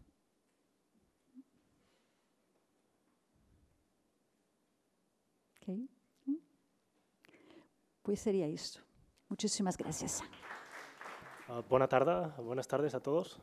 Um, Quería empezar eh, simplemente agradeciendo al profesor Josep Oliveras por haberme invitado a, participar en esta jornada y disculpándome porque ah, acabo de llegar hace exactamente 19 minutos ah, a, esta sala, es decir, que he podido escuchar gran parte de la presentación de, la persona que de mi predecesora, pero mm, eso quiere decir que, que, mi participación en una posible discusión posterior bueno, estará limitada a a lo que he podido escuchar ahora y a lo que pueda aportar yo. Y en ese sentido, mm, quería hacer una puntualización inicial porque es importante para poder entender lo que voy a poder, o, para poder entender mi aportación hoy, que es el título que finalmente eh, eh, he optado por escribir y que, es que difiere al, título que aparece en el, programa oficial de la, de la, jornada, la geografía académica en Centro Europa, con especial énfasis en Austria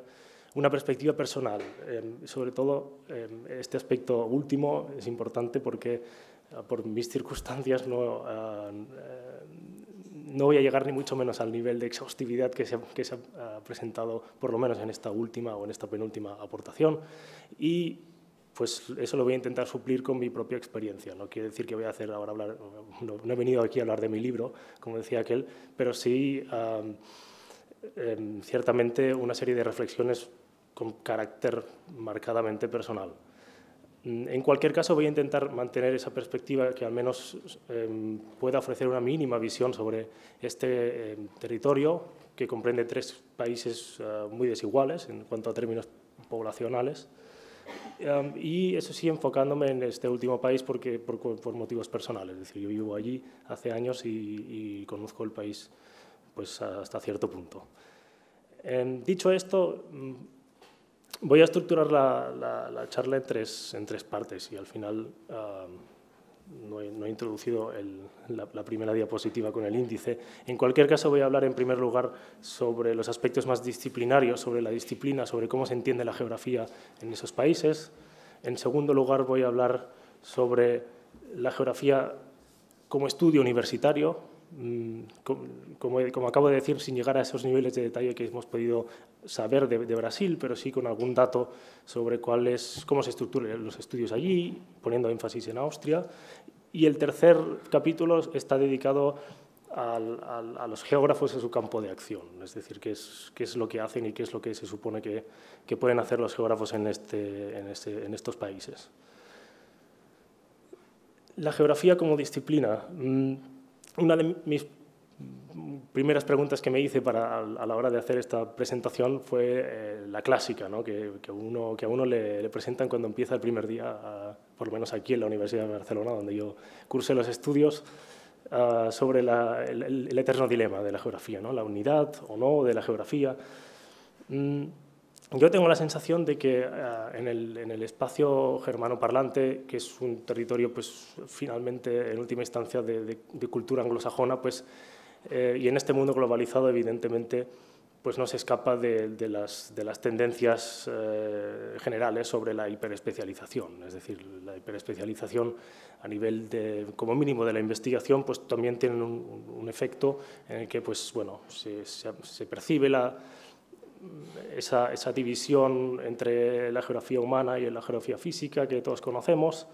Mm, donde, por cierto, la geografía regional, que es como la tercera rama que nosotros apreciamos mucho por la tradición francesa, pues queda, queda bastante, bastante eh, tapada, por lo menos en la actualidad. Eso no quiere decir, y por eso he, puesto la primera ilustración a mano izquierda el libro de, del geógrafo alemán, pero que estuvo mucho tiempo en, la Universidad de Berna, Werner Betzing, sobre los Alpes, porque fue un libro, que, bueno, es un libro de cabecera, es, es, un magnífico ejemplo sobre una geografía regional sobre los Alpes, un territorio, en este caso montañoso. Em, como este libro parecidos, pues encuentro, he encontrado también monografías sobre, sobre Austria, que se puede considerar como una monografía regional, em, de otra profesora que falleció hace un año eh, de la Universidad de Viena. Es decir, creo que esta generación de, profesores más uh, veterana mm, creo que a nivel de publicaciones no tiene, no tiene tanta continuidad. O sea, a mí me faltan referentes em, pues para, si, si, quiero abordar pues, eh, la geografía pues eso, regional sobre un, sobre un territorio determinado. La otra cara de la moneda que decía al principio sobre la hiperespecialización, pues mm, se traduce, por ejemplo, en algunos casos, en algunas universidades, como esta de, me parece que es la de, sí, la de Frankfurt, del Meno, en, la que existen departamentos separados. No es algo que no sea a, los geógrafos de la Universidad de Barcelona, no es algo que no sea ajeno porque hasta hace creo que tres o cuatro años los departamentos estuvieron durante décadas separados. En cualquier caso son pocas las excepciones. Yo he anotado Basilea, Frankfurt, Hannover también. En Colonia también hay departamentos separados, pero el resto son departamentos de geografía. Mm, un asunto, otro asunto que, me, que yo mismo me planteé para cuando empecé a pensar sobre cómo podría estructurar la, la charla de hoy es sobre las corrientes ¿no? dentro de la geografía. Y la primera, mi primera sensación es que la geografía en estos, en, en estos países es, se presenta, por lo menos en sociedad, como una, una disciplina bastante pragmática. Es decir, me da la sensación de que el objetivo de la geografía, que es, no es otro que pues, analizar, comprender y a lo mejor también intentar cambiar las relaciones entre las sociedades humanas y su entorno, pues es, eso es precisamente lo que ellos venden cuando uno entra a alguna, alguna página web del, del departamento X de alguna universidad de esos países. Claro que existen estos debates internos, pero yo creo que, que, son una cuestión secundaria y al final voy a a lo mejor tirar un poco de tópico, pero el, el, carácter eh, germánico siempre se dice que es muy pragmático y yo creo que aquí esto se traduce en, por ejemplo, pues que las líneas o los puntos fuertes de cada departamento de geografía pues al final vienen marcados por circunstancias, pues, por ejemplo, por la elección de, los profesores que están al cargo de cada de cada, de cada grupo de investigación dentro de cada departamento. Eh, por ejemplo, he puesto aquí en el fondo un ejemplo sobre la Universidad de Viena, em, de un grupo de, investigación sobre ah, población, recursos y medio ambiente. Y bueno, pues ah, ahora mismo es el, líder de ese grupo es un profesor alemán que, eh, cuya especialización tiene que ver con los procesos migratorios y la influencia del cambio climático en esos procesos migratorios, eh, sobre todo en el sur y el sureste asiático. Entonces, pues es un punto eh, fuerte. Quizá aquí puedo introducir un ejemplo que me toca directamente por mi ocupación actual o una de mis ocupaciones actuales, en la Universidad de Viena, pero no en el departamento de geografía, sino en el departamento vecino, porque es, literalmente estamos al lado de la misma planta, en el mismo edificio, que es el de antropología y social y cultural. Y en el grupo de investigación donde yo estoy integrado, pues eh, eh, estamos trabajando uno de los proyectos de investigación tiene que ver con pautas de movilidad y, dinámicas sociodemográficas en la Siberia Oriental y en el eh, Russian Far East, en el, en, el, en el extremo oriental ruso. Es decir, bueno, pues que hay, mucha, hay muchos temas exóticos, pero al mismo tiempo, eh, por supuesto, si vamos a la Universidad de Innsbruck, por ejemplo, o de Graz, eh, existen las clásicas, aún las clásicas eh, los profesores de geomorfología o de dinámica glaciar que son verdaderos especialistas, por supuesto, en territorios de alta montaña y, por supuesto, en, en, los Alpes, que es donde las ciudades están situadas. Mm, un ejemplo que podría aportar concreto, mm, manteniendo el ejemplo de la Universidad de Viena, es, por ejemplo, es el cuadro en la parte superior con esta letra tan pequeña que probablemente no se podrá leer, además está en alemán, pero lo voy a traducir ahora, que es, en este caso son las líneas de especialización, para dar un ejemplo concreto. Y en la Universidad de Viena, la geografía en la Universidad de Viena está especializada en teoría y métodos, estudios de género, ecología humana, mm, migraciones, eh, ordenación del territorio, Em, dinámicas poblacionales, eh, geografía política, em, medio ambiente y, ecosistemas, eh, investigación sobre el cuaternario, riesgos naturales, cartografía y geoinformación, por supuesto, y eh, didáctica. Y, Aprovecho para poner énfasis en el tema didáctico porque es un, asunto que querré después eh, repescar porque es, un, es, uno de los temas que yo creo que, marca una cierta diferencia con, nuestras, uh, con la manera como está organizada la geografía en nuestro país. Hay otro aspecto dentro de este, de este primer punto que es el tema de la comunidad, ¿no? cómo se estructuran los geógrafos allí, a nivel, por lo menos a nivel más académico. Y por supuesto existen en cada país sociedades geográficas. Mm, la alemana, por ejemplo, es potente porque bueno, pues, eh, tiene cuenta con más o menos unos 25.000 miembros. Pues, evidentemente es un país grande, pero no, aún así yo creo que es una cifra bastante relevante. Si se la compara con la austríaca, que son 1.300, y se comparan las cifras de población, Alemania tiene 10 veces más población que, que, Austria, pero la, la, sociedad alemana tiene 20 veces más que miembros que la sociedad austríaca de geografía. Em, y además tiene luego muchas, uh, muchas instituciones que dependen de ella, uh, y por ejemplo esta que, que he introducido luego a, a, la derecha, que tiene que ver con, con la uh, asociación marco o el paraguas de estudiantes de geografía. Y que, bueno, pues es, eh, me da la sensación, no puedo hablar en primera persona aquí, lo confieso, pero me da la sensación de que están bastante bien organizados, es decir, y actúan no, no solamente a nivel de la República Federal Alemana, sino también en cuanto a todo, el llamado espacio germano parlante, que en realidad también puede incluir eh, otros países. Yo tengo contactos directos en la Universidad de Cluj-Napoca, en, en, Rumanía, donde se imparte una, una línea de, geografía, por lo menos ciertas eh, asignaturas en alemán, además del rumano y el, húngaro, que son las lenguas allí de uso. Mm, ¿Qué más? A nivel, a nivel de la movilidad del personal, por ejemplo, que ese es un asunto que he detectado entre los colegas uh, uh, de allí, hay, eh, me refiero ahora en Austria, hay una cierta inquietud porque en las plazas de profesor, en prácticamente todas las universidades de geografía en Austria están ocupadas por profesores alemanes. Bueno, yo siempre les digo que es lo que pasa cuando tienes un hermano mayor, ¿no? desde esas dimensiones, pues que al final eh, tienes eh, una gran demanda eh, y, bueno, es difícil, al final estamos hablando del mercado único. ¿no? ¿Qué más? Bueno, quizá como, como, un último apunte dentro de este apartado dedicado a la comunidad es, y en cuanto a la celebración de conferencias, pues eh, cada dos años se celebra el Congreso de, los Geógrafos Alemanes, que otra vez tiene ese concepto más amplio, o sea, no son los geógrafos de Alemania, sino los geógrafos germanoparlantes.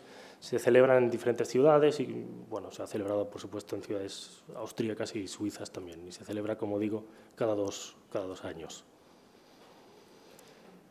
Esto era la parte dedicada al, al, más, al enfoque más disciplinario y ahora voy a intentar dar un par, un par, de apuntes sobre cómo se estructuran los estudios. Este mapa, que no tiene ningún tipo de rigor para cuando estamos hablando entre geógrafos, pero ya me perdonaréis, eh, simplemente quiere comunicar la localización de los departamentos de geografía en, en estos tres países. Mm.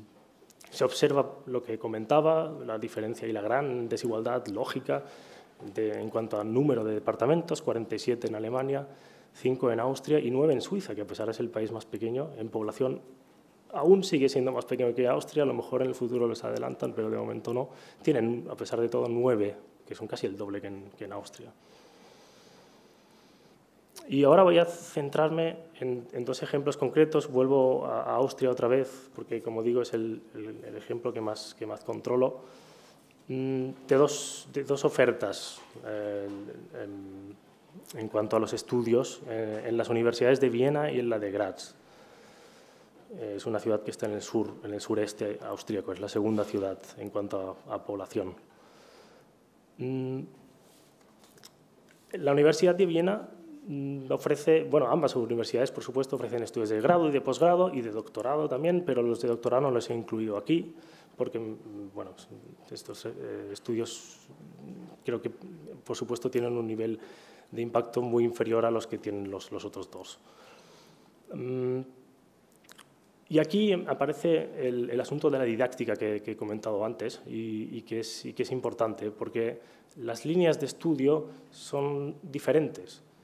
Es decir, uno cuando empieza o elige lo que va a estudiar, pues se plantea sobre si estudiar el, grado en didáctica de la geografía, es el Lehramt, que aparece en la, columna de la Universidad de Viena, arriba, en la, segunda, ah, bueno, en varias, en varias ocasiones, porque además puede ser un, grado, pero luego se puede continuar con un posgrado.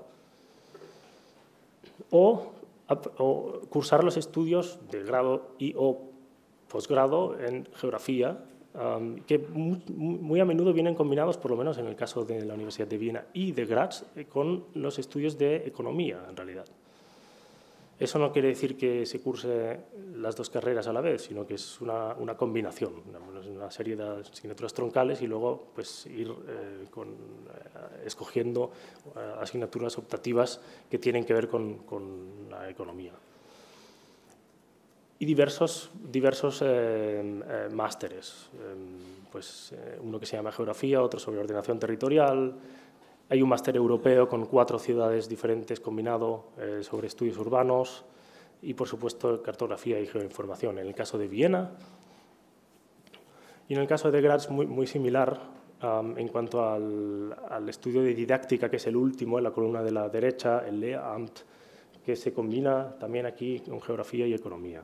De todos modos, y aquí hablo ya no solo por los estudios de geografía, sino en general, eh, esta, entre comillas, cultura de, cursar esos estudios de, didáctica eh, significa, por supuesto, y luego lo, mencionaré en el último apartado, pues la, orientación desde un principio de una persona que, que, quiere dedicarse a la docencia, la docencia en escuelas, en institutos.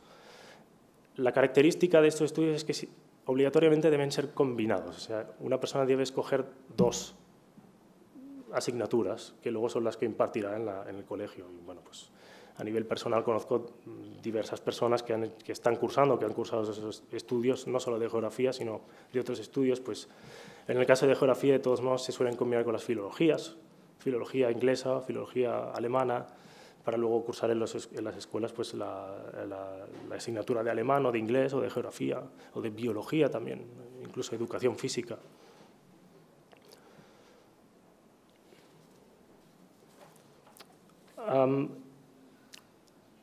Me he adelantado en, esta, a esta diapositiva, pero aún quedan dos aspectos importantes, aparte de lo que he comentado del, del papel de la didáctica de la geografía, papel fundamental, insisto, es el papel de los sistemas de información geográfica, que es un asunto que, por supuesto, a, todo geógrafo también le, atañe y se hace la, pregunta sobre cuál debe ser el papel o no, y sobre el papel de la ordenación del territorio.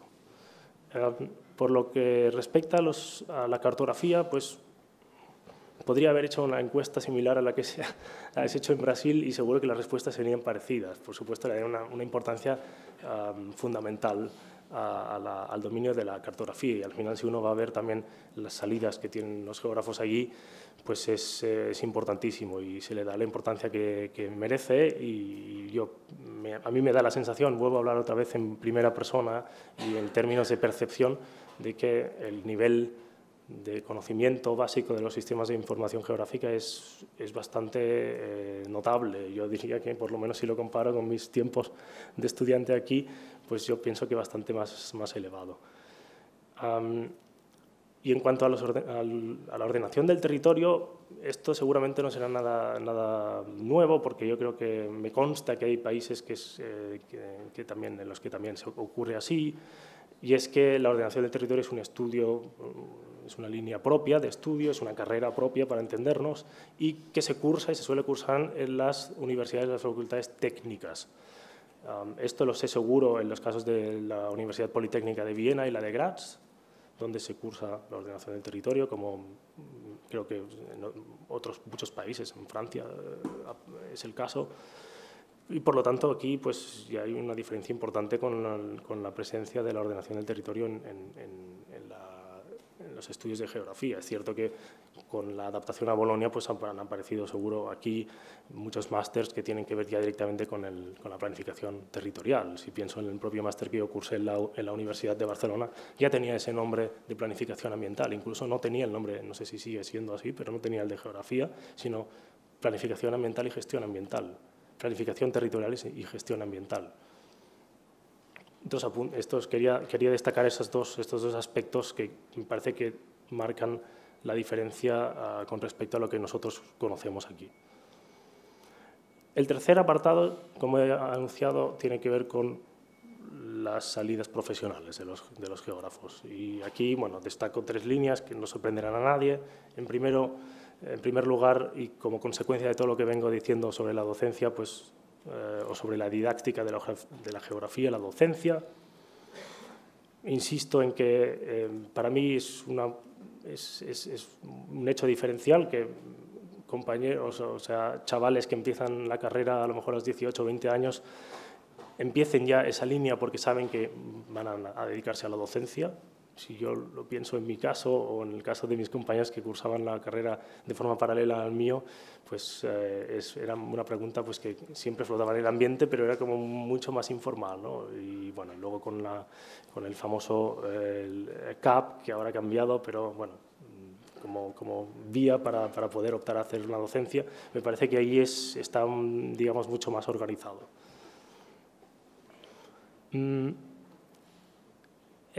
otra pregunta pertinente sería cuál es la situación profesional de los profesores de geografía y a lo mejor en general. Y a mí, a mí en este punto eh, me da la sensación, y conozco también casos personales de gente que bueno, realiza, por supuesto, en esos estudios es obligatorio realizar un año de prácticas en un instituto o en un colegio.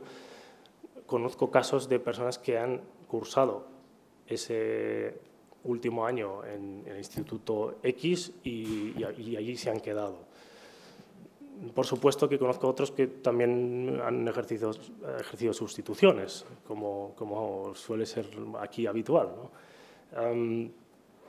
son sustituciones que a lo mejor también se alargan más porque es cierto que si el motivo de la sustitución, por ejemplo, es una maternidad, las condiciones de, baja de maternidad en Austria y, aquí en, en, España, pues prefiero no entrar a compararlos porque no son, no, son dignos de comparación. Entonces, pues las, esas sustituciones suelen ser más largas.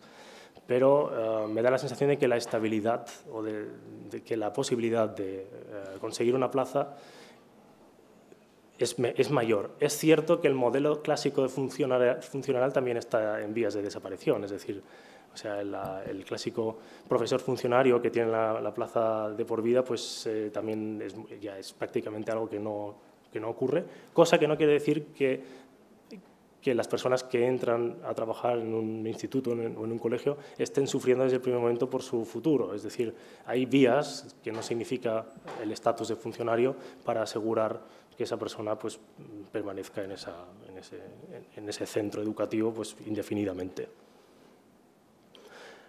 Otra cuestión es la empresa privada. Y aquí en la empresa privada pues, eh, por supuesto que aquí entra el papel de los sistemas de información geográfica como arma del, geógrafo. Es, un tópico y, también se produce allí. Em, si pienso en personas que conozco y que no trabajan en el mundo de la docencia, pues enseguida me vienen a la mente em, em, despachos o consultorías sobre temas de ordenación del territorio, de desarrollo regional, de, planeamiento urbano y del, de, planeamiento del tráfico, yo mismo he, trabajado en algún proyecto con compañeros eh, que trabajan en, este tipo de, consultings. por supuesto, aquí pues, eh, el tema de la ordenación del territorio y, muy en connivencia con la administración pública, por supuesto. Pues, al final son las empresas las que realizan los encargos que vienen muchas veces de la administración, por supuesto, a nivel, a nivel municipal. Entre otras cosas porque el planeamiento municipal está allí consolidado desde hace décadas y, por, ley deben, cada municipio, sin excepción, debe eh, mantener al día su propio plan de, de ordenación urbanística. Y en, tercer lugar es la universidad, que es, eh, bueno, es un mundo en el que yo pues, ah, eh, estoy más vinculado. y bueno, cuando hablo de la universidad hablo de la investigación, que por supuesto se puede desarrollar en centros no universitarios también. Yo también he estado eh, trabajando algún tiempo en, un instituto de investigación de, de naturaleza privada. Pero en general en la investigación pienso que eh, en este caso yo diría que funciona de forma similar aquí. Es decir, el sistema es similar, es el mismo y tampoco sorprenderá a nadie eh, cuando ah, diga pues, que el, sistema de selección del personal funciona fundamentalmente en base a un criterio, que es el criterio de las publicaciones en, revistas indexadas, y ah, el, resto de, funciones y de, roles que el geógrafo realiza, para empezar la propia docencia y que para mí personalmente tiene un impacto seguro que más directo en, la población porque precisamente son tus estudiantes con los que debates y con los que por lo menos los que al, menos algunos te escuchan mm, pues tiene una importancia secundaria. Mm, lo que no existe allí es el sistema, tan, eh, el sistema de acreditaciones, que también en las salas será conocido de sobras. No existe ningún sistema, yo no me he acreditado en ningún lugar en Austria porque no hay ninguna agencia de acreditación y al final el sistema de, plazas pues, eh, funciona, eso sí, pues con un, sistema sí que parecido al de aquí, es decir, eh, lo que pasa es que tú puedes presentarte sin, sin tener una acreditación, sino simplemente mm, enviando tus credenciales, tu currículum eh, Vita y entonces será la, persona de la comisión que se encargue de, la selección del personal quien te seleccione o no. Mm, en general, y esta ya es eh, casi mi última reflexión, sobre en este tema en particular, sobre la, sobre la investigación en general, pienso que muchas veces, se lo he comentado a muchos amigos míos, eh, que y esto es directamente eh, obtenido en mi propia experiencia de, ya pues, varios años eh, viviendo y trabajando allí. Lo suelo definir el, personal investigador como, gente que vive en una especie de, em, yo, digo, yo le llamo precariado, precariado bienestante. Y me explico, porque es una contradicción, parece una contradicción interminis, pero Creo que el, asunto que concede el cualificativo de precariado es parecido al de aquí, es decir, eh, se trata de un gran, o la gran parte del personal, aquellos que no, que no pueden conseguir una plaza ah, permanente en la universidad, que por supuesto es la mayoría por cuestiones lógicas, suele moverse con contratos temporales, eh, pues, pues, que oscilan entre los meses y eh, a lo mejor los tres años, cosas así. Es un tema controvertido porque en, Austria incluso aparece una ley que le llaman la ley del, encadenamiento de, las cadenas y es que el Estado obliga a contratar a la universidad a una persona que encadena, ahora mismo no sé exactamente si son tres o cuatro contratos temporales. En el momento en que se firma el, contrato número tres o cuatro eh, en la misma universidad, la universidad está obligada a ofrecer un puesto indefinido, cosa que no realizan. Para no poder hacerlo, simplemente no, no, permiten que firmes ese último contrato que te permitiría llegar al... Entonces se forma aquí un, un círculo diabólico realmente, en que mm, no se soluciona la situación porque el, objetivo era pues, ofrecer esos puestos eh, indefinidos y, y, bueno, así, así, funciona este sistema y esa es la, la principal razón por la que yo le califico de precario. Lo de bienestante es porque simplemente el nivel salarial que existe en Austria, pues si yo lo comparo con el sitio de donde yo vengo, pues tampoco se puede, se puede establecer una comparación seria y firme. Y por eso yo pienso que finalmente los estándares de, sueldos eh, allí, pues, bueno, hacen que este precariado, pues que sea, un, que sea desde el punto de vista puramente económico, sea sostenible de alguna manera. No, es una, no quería acabar así, es decir, no es una conclusión así tan tremendista, pero simplemente, eh, bueno, como he dicho al principio, esta aportación mía de hoy eh,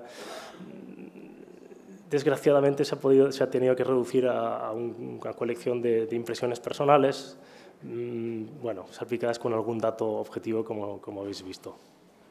Así que muchas gracias. buenas tardes, soy Masia Blázquez. Una pregunta muy concreta para Lechis. Mm, la formación de profesorado a la que te referías, no lo voy a pronunciar bien, pero LERAMT, eh, ¿da acceso a la docencia en primaria o solo en secundaria? Si lo sabes. Si te suena que sean maestros, puedan ser maestros o solo profesores de secundaria. Yo diría que en primaria también. En primaria también.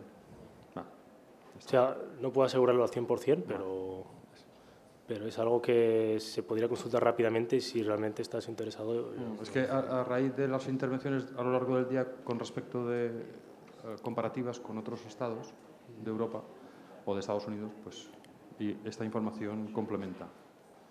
No, es una cosa para, mí, para mí también interesante, es una cosa que podré consultar. yo diría que sí, pero lo puedo...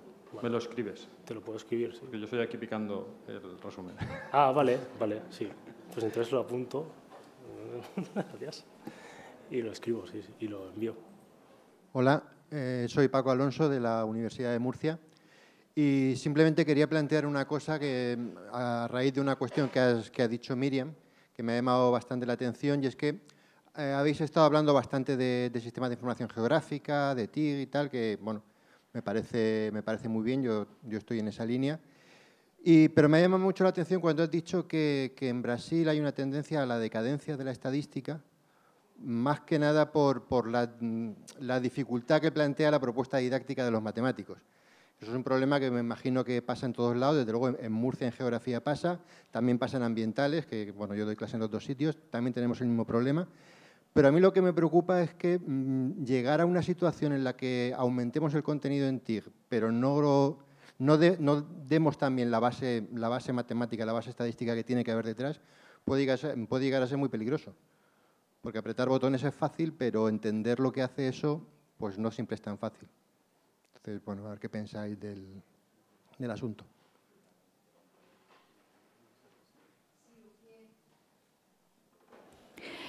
Sí, o que tres de los de los coordenadores de departamento contestaram é que não atendiam às demandas do geógrafo. Não? Eu penso eh, em reformular a assinatura, não? reformular a ser uma assinatura mais vinculada às demandas. Eu creio que essa é a solução. Não eliminá-la, mas sim reformulá-la. En esta línea, eh, bueno, eh, es, fundamental, ¿no? Todas las cuestiones estas cuantitativas relacionadas con, con, los sistemas de información geográfica es fundamental.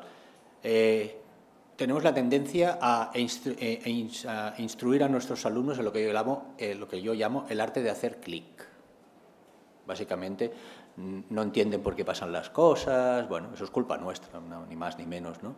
Yo creo que es fundamental presentarles para empezar, que todo eso tiene que ver con la geografía. Eso para empezar.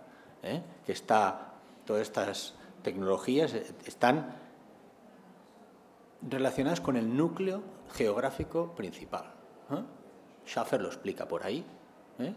Explica en 25 líneas qué significa el carácter isomorfo de la geografía, las correlaciones que expresa un mapa, etcétera, etcétera. Eso tiene que explicar, se tiene que estar, eso tiene que conceptualizar y evidentemente han de ver esos, esos fundamentos porque es que si no luego mm, darle a la tecla es muy fácil, pero eh, interpretar lo que el resultado que se obtiene, por qué a, tratar una información de una manera o no de otra, todas esas cosas son claves. Entonces, es fundamental que eso se dé. En las facultades aquí, por ejemplo, la estadística está presente y, es, es, principal que, se pueda dar eso. ¿no? En este momento en que los datos están en, todos los lugares, me refiero a que pues, eso es básico.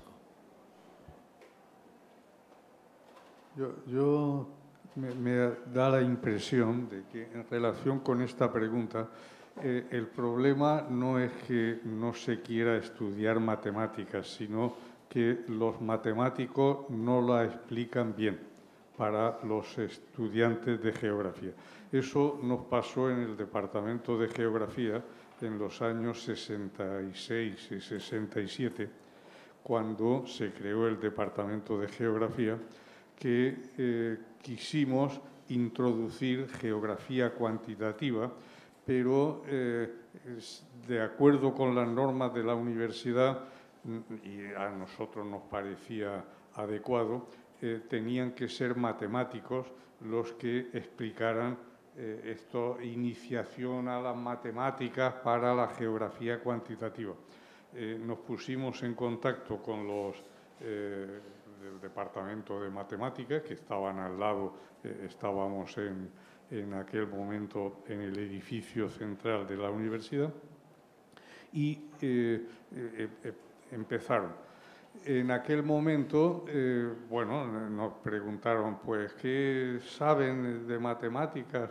Pues no saben mucho porque son de letras, pues hay que empezar por el principio. En aquel momento significaba empezar por la teoría de conjuntos. Y entonces, pues eh, los estudiantes no, no lo aguantaban eh, porque em, tenían que empezar por el principio. Nosotros les insistíamos que vieran lo que se trataba de, eh, desarrollar en relación con la geografía cuantitativa, pero ellos eh, decían que no, que tenían que empezar por el principio. les pasó a los estudiantes como me pasó a mí cuando era niño que quería estudiar el violín y me compré un violín pero el profesor decía, eh, no, no, hay que empezar eh, con el solfeo, que, pero enséñame a, tocar algo. Si me hubiera enseñado a tocar el quinto levanta, yo, yo, hubiera estudiado, pero se empeñó en que tenía que empezar eh, con solfeo. Y al cabo de cuatro o cinco meses me harté porque decía, no, no, porque es muy peligroso, porque puedes tomar vicios cuando... Bueno, eh, entonces, eh, el problema de eh, contratar a otros especialistas, concretamente a matemáticos, para dar iniciación a las matemáticas o a la geografía cuantitativa, se planteó en aquellos momentos así en, en geografía en Barcelona y en alguna otra universidad de española. Eh, entonces, me da la impresión, por la respuesta que hemos visto, que, los estudiantes no resistían, no el, estudiar matemáticas o geografía cuantitativa, sino la forma como se enseña. Soy Carlos Manuel de la Universidad Carlos III de Madrid. Un poco complementando esta cuestión, realmente yo creo que es un problema en nuestra universidad, las eh, asignaturas de economía y estadística están implantados en muchos grados y el problema no tienen ellos, es decir, se niegan a adaptarse a la titulación de, en cuestión, sea geografía, sea periodismo, sea lo que sea. Ellos tienen un modelo único y como anécdota, pero un poco más que anécdota, eh, en economía, cuando toca hacer el examen de economía, se hace todos a la vez, en todos los grados a la vez, porque el examen es el mismo para todos. Y de ahí no salen, no se mueven. Pero bueno, es su sistema rígido que se ve que les va bien. Pero todas, quería hacer una pregunta en relación con el modelo de Glasgow, que es sobre todo la, presencia notable, envidiable, de tantos minor. ¿Se abren todos? ¿Qué condiciones hay para que se abran en cuanto a número de alumnos, por ejemplo? No es, que se abran, es que, eh, es que cada alumno hace el itinerario que, que quiere y no son minors, son joint. Entonces, porque claro, después, por ejemplo, si os he enseñado uno que había geografía, por ejemplo, con español. pues a lo mejor habrán un join en, español con, eh, con otra disciplina, es decir, que, que en muchos itinerarios. No es que los grupos sean, tengan que ser todos iguales y haya un mínimo para ese grupo, no. se, se, cruzan muchos alumnos con distintos itinerarios. Gracias. Hola, buenas tardes. Soy Raquel Varela de la Universidad del País Vasco. Quería hacer una pequeña reflexión y llevamos todo el día aquí hablando de la importancia de la didáctica en geografía, en ciencias sociales, etcétera. Pero en nuestra facultad, en el grado de geografía, no tenemos ninguna asignatura relacionada con didáctica. Hay una que es educación ambiental y la tenemos porque la Facultad de Ciencias Ambientales está a 50 metros. Entonces, claro, eh, se habla mucho de la importancia del profesorado de secundaria pero creo que el alumnado, mientras está haciendo el grado, tiene que saber si eso de la didáctica le gusta o eso de ser profe le va a gustar. Y ya digo, en mi facultad no hay ninguna asignatura didáctica. Entonces, no sé en el resto, pero creo que es una reflexión importante meter algo de didáctica eh, si queremos mejor profesorado en secundaria. Nosotros no tenemos prácticas obligatorias, sí voluntarias, y es cierto que hay estudiantes que van a colegios y hacen unas pequeñas estancias allí. Bueno, es una primera toma de contacto lo que digo, desconozco si en el resto sí que tienen asignaturas de didáctica. Nosotros compartimos facultad con grados de lengua y tienen alguna asignatura de didáctica de las lenguas. Entonces, bueno, visto un poco las experiencias que hay en el extranjero, la última de Austria, donde la didáctica es muy importante, bueno, pues yo creo que aquí estamos un poco más atrás eh, en ese sentido. Y bueno, pues esa reflexión quería hacer eh, por destacar la importancia de la didáctica. Te, te voy a responder yo, ¿va? Pero no de Glasgow, sino te voy a responder de, mm, de la autónoma y de, y de la de Girona, en las cuales he trabajado en la autónoma siete años y en Girona ya llevo dos. Cuando yo estudié geografía, que lo estudié en la autónoma, en el último curso existía eh, didáctica de la geografía, que la realizaban Pilar Benejam y Pilar Comas, eh, y era todo un año haciendo la didáctica y haciéndola en un instituto. Eh, entonces, bueno, a mí me, gustó bastante y de ahí salté al doctorado que, que empezaba entonces eh, en la Facultad de Educación.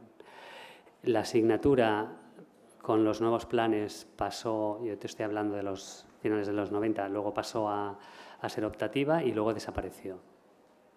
Con lo cual, en, en geografía, pues ya no, y claro, ¿cuál es el, cuál es el problema? Es lo que tú dices, que eh, si no conocen el campo, pues entonces no se pueden interesar. En Girona, en la actualidad, no hay una asignatura de didáctica de la geografía, pero en el Departamento de Geografía tienen una asignatura sobre mm, bueno, métodos y e, es como una asignatura sobre carreras en geografía, es, decir, es un poco para dirigir profesionalmente a, los alumnos y hacen cosas de, didáctica. Invitan a distinto profesorado, te lo digo porque a mí me han invitado algunas veces, y después hacen un, proyecto que involucran a los alumnos de, ese último año, los llevan a hacer eh, bueno, unas clases en unos institutos y las clases las preparan con antiguos alumnos del máster de secundaria. Es decir, y está bien. Está.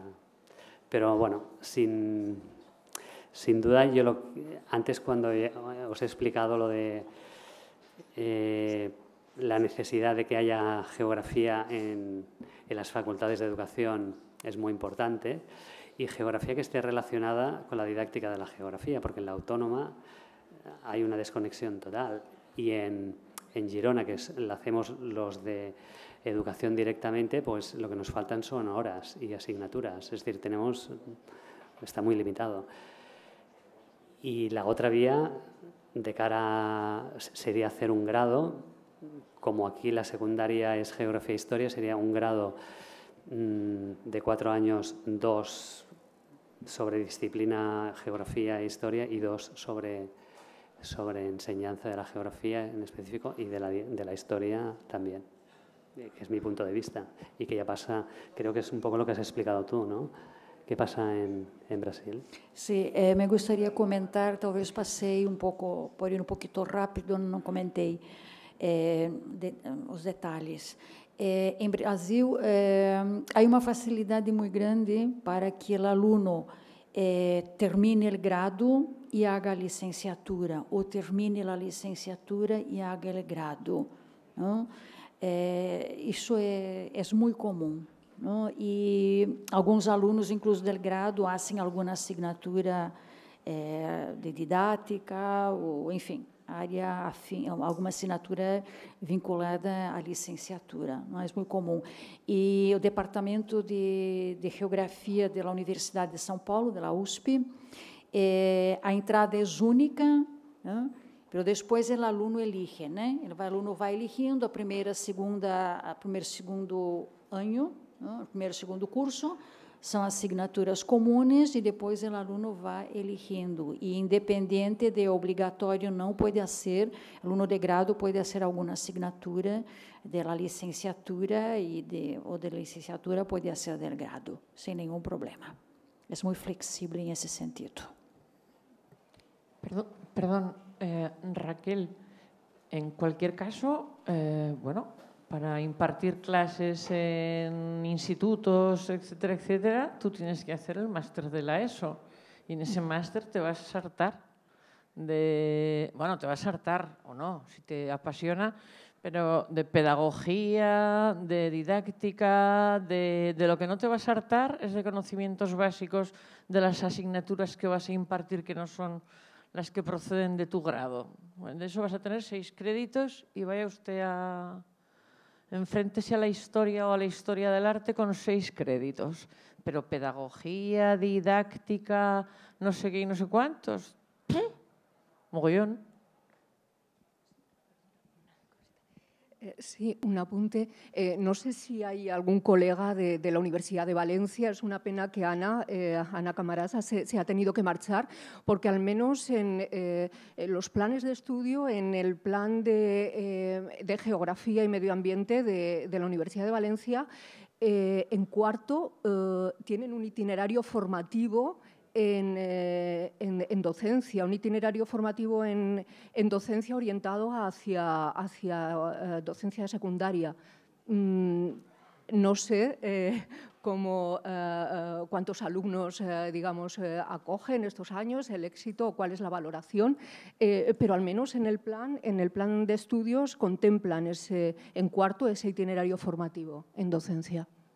Eh, por responder a Maite un poco, eh, si tuviésemos en cuenta esa reflexión con una geomorfología muy básica, nos valdría en toda la carrera, porque al que le guste ya hará un máster de geomorfología y se hartará. O sea, quiero decir, no, quiero decir que la didáctica, o sea, yo no digo de poner cuatro asignaturas de didáctica, pero que conozcan un poco de qué va el mundo de la enseñanza. Eh, al que le guste ya hará el máster y se hartará de todo. Pero yo creo que una eh, educación, una asignatura mínima en temas de educación es importante.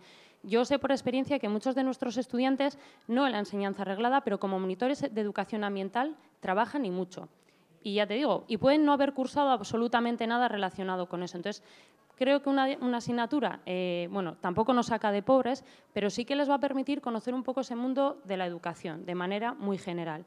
Al que le guste, hará el máster que creo que, bueno, de algún conocimiento le dotará, pero que lo que le va a enseñar a ser mejor profe va a ser la, realidad de un aula, ¿no? Porque no hay dos aulas iguales. Entonces yo creo que echo de menos, y bueno, Maricruz ha mencionado el caso de Valencia, pero de todas las facultades es un hecho muy aislado.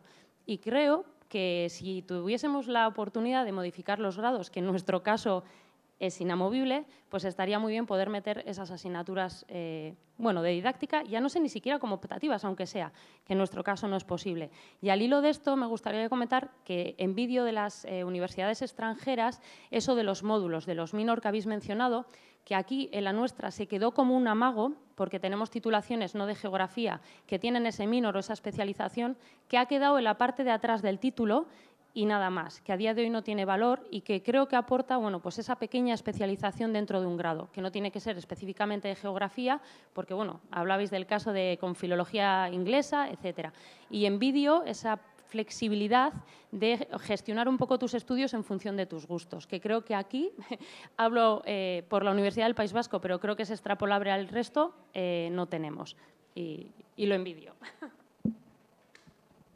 Bien, alguna pregunta más por cuestiones ya de quizá de horario. Solo decir que ha sido muy interesante, que Churchill decía que la guerra nunca se debe dejar solamente en manos de los militares. La enseñanza nunca se debe dejar solamente en manos de los pedagogos.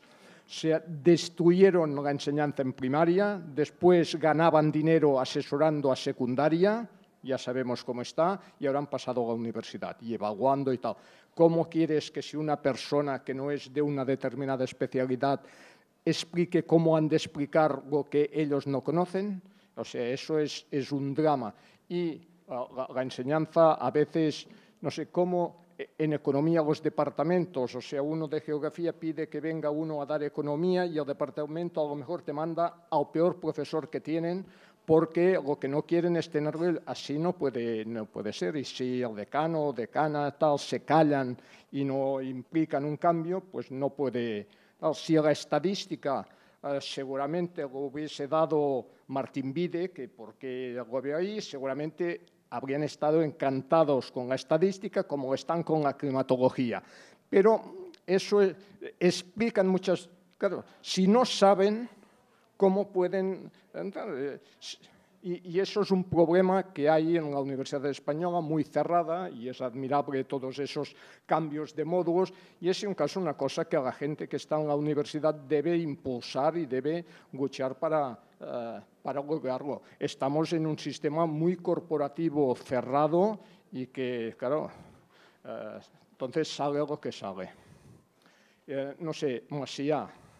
Yo había pedido a Masía para cerrar que he estado tomando notas y he estado trabajando mucho, pues no sé, como es una persona sintética, brillante, si quiere decir un poco, dar unas conclusiones de lo que le ha parecido la jornada. Uh, me han pedido de a ver si se podía editar lo que se ha dicho, porque eh, por la mañana, por la mañana había mucha más gente aquí y algunos se han tenido que ir y también, hombre, no, mm, no queremos perdernos lo de la tarde. Está filmado, esperemos que salga bien la filmación, pero también miraremos, sea a través de nuestras, nuestra publicación de la revista o a través de Geocrítica, pues también como todo mundo tenía sus PowerPoints y seguramente pues puede elaborar algún escrito también que se pueda publicar porque yo creo que es muy importante saber qué hacen los demás y no solamente mirarse el propio ombligo. O sea, Masía. Hola. Buenas tardes. Buenas tardes a todos y a todas. Um, Josep y Jorge me pidieron que ayudase en cuestiones de organización, eh, encargándome también en particular de, la invitación a, algunos de los participantes que muy generosamente aceptaron todos. Y quiero en primer lugar agradecerles a todos los ponentes, participantes de las mesas, el que hayan venido y, y darle la enhorabuena a la Sociedad Catalana de Geografía por la iniciativa y por la hospitalidad. Y lo digo como miembro de la Junta Directiva de la AG, eh, creo que en representación de, nuestro presidente, porque ha sido todo un lujo. La sala se nos ha quedado pequeña, yo he visto gente de pie, también por un poco la dificultad de acceso a alguna de las sillas que quedaba vacía, eh, con lo cual, mm, pues eh, me quedo con que la geografía goza de buena salud, seamos optimistas, ha habido como un poco el apunte sobre el orgullo identitario, la mejora, yo creo, de la visibilidad y también en representación, yo creo, de la Junta Directiva de la AGE, cuando no, además de ser socios también de la Sociedad Catalana de Geografía, a, abrirnos a, la posibilidad de que se nos hagan llegar sugerencias y propuestas, que sea por el Día del Libro, sea por el Día de los Museos, sea por el Día del Medio Ambiente, la presentación del,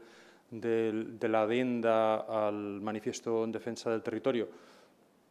Este presidente es un no parar, nos tiene a todos ya esclavizados. Pero vaya, que cualquier sugerencia será muy de agradecer. Y resumiendo, tan solo he apuntado media docena de, temas, muy rápidamente.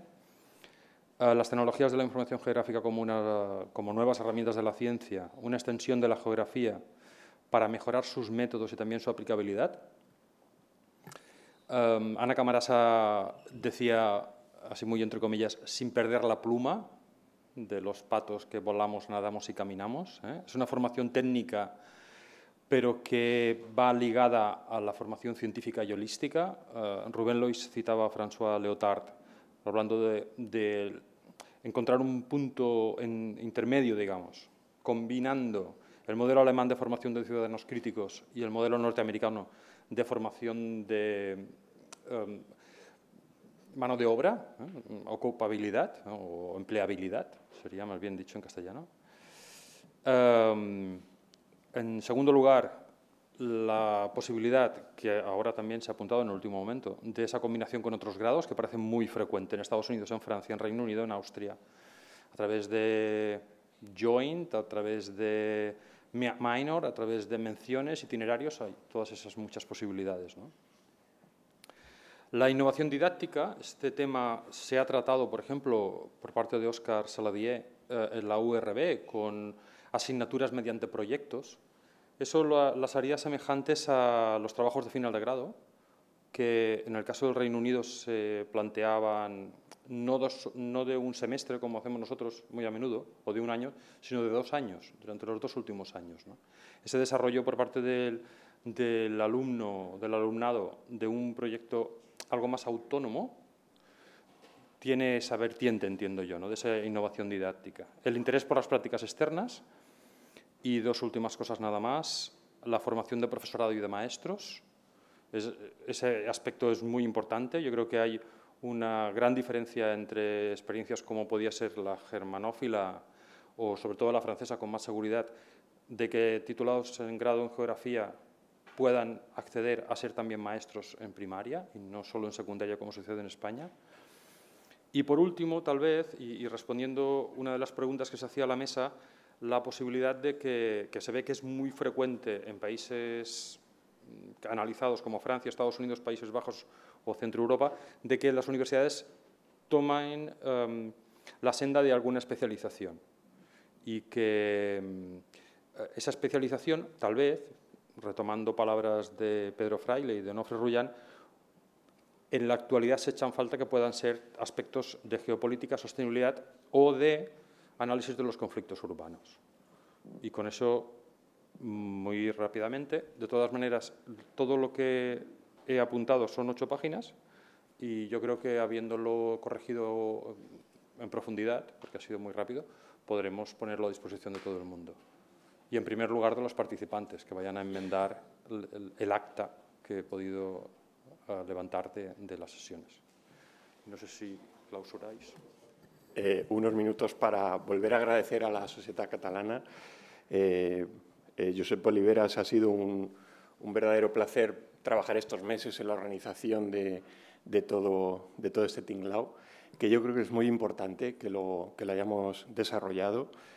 Yo quiero también, me vais a permitir, y este mensaje tiene un calado de fondo, quiero agradeceros a, todos los que vivís aquí en, en Barcelona, en Cataluña, eh, que habéis hablado en castellano, porque yo sé que vuestra lengua materna es otra, os lo quiero agradecer muy sinceramente.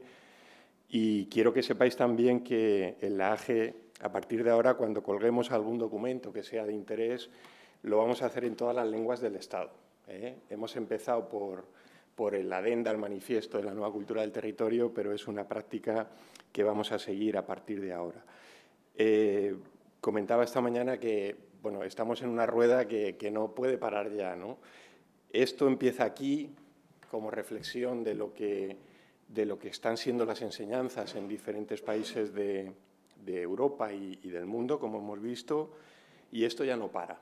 ¿Eh? Me vais a permitir que hable así en nombre de la Junta Directiva. Eh, nosotros, como ya sabéis, estamos aquí para trabajar, ¿eh? para hacer servicio a la Asociación de Geógrafos en la medida de, nuestras posibilidades. Estamos echando muchas horas y yo creo que, es necesario echar todavía alguna más, pero esta, esta parte de la docencia es algo clave. Como os he comentado, eh, a partir del curso de Getafe, que haremos ahora a principio de julio, ya vamos a empezar a activar la comisión de, de enseñanza secundaria y mm, un poquito más adelante, cuando recopilemos más información, comenzaremos a trabajar en, las comisiones o la comisión de, reforma o de propuestas para las enseñanzas universitarias de geografía. Os digo esto que empezaremos un poquito más adelante porque no queremos hacer comisiones sin saber hacia dónde vamos. ¿eh? Vamos a trabajar con cabeza, vamos a ver primero qué objetivos nos marcamos, vamos a esperar al, cambio de gobierno ¿eh? en, España, a ver cómo, eh, cómo, cómo, va a funcionar a partir de ahora. Mm, sabéis que en los próximos días va a haber cambios de, de, nombramientos que bueno, tendremos que estar atentos para, para volver a a coger onda ¿no? en posibles reuniones que tengamos que solicitar al Ministerio y, bueno, pues eh, dejarnos un poquito de, margen estas semanas, pero no preocuparos que vamos a seguir trabajando. En ese sentido, quiero hacer un, agradecimiento público a una profesora de la Universidad del País Vasco, a Orbán Ormaechea, que hace unos días nos, eh, participó un documento que ella había elaborado con las valoraciones de la, de la EBAU, de la PAU-LOCSE, eh, de la selectividad eh, en, la geografía en toda España. Eh. Lo ha hecho mm, bueno, por un encargo que parece que ella había recibido, pero lo había ampliado el conjunto del Estado español y, y, nos va a pasar la parte relativa a todas las comunidades autónomas para que podamos tener una radiografía de cómo, cómo está considerada la geografía en la valoración de, la, prueba de acceso a la universidad. Yo quiero hacer público el agradecimiento, ya, ya lo hemos hecho Alfredo Llero y yo en privado, pero yo creo que va a ser, es un documento muy interesante, en los próximos días lo colgaremos en, la página web de la AGE. Y quiero también decir que esta, esta trayectoria de colaboración con el colegio y con la sociedad catalana tampoco va a parar. ¿Eh? Mm, en fin, eh, estamos todos en el mismo barco, tenemos todos el mismo interés de, defender y promocionar la geografía allá donde estemos y, esta va a ser la línea de trabajo que, vamos a seguir desarrollando.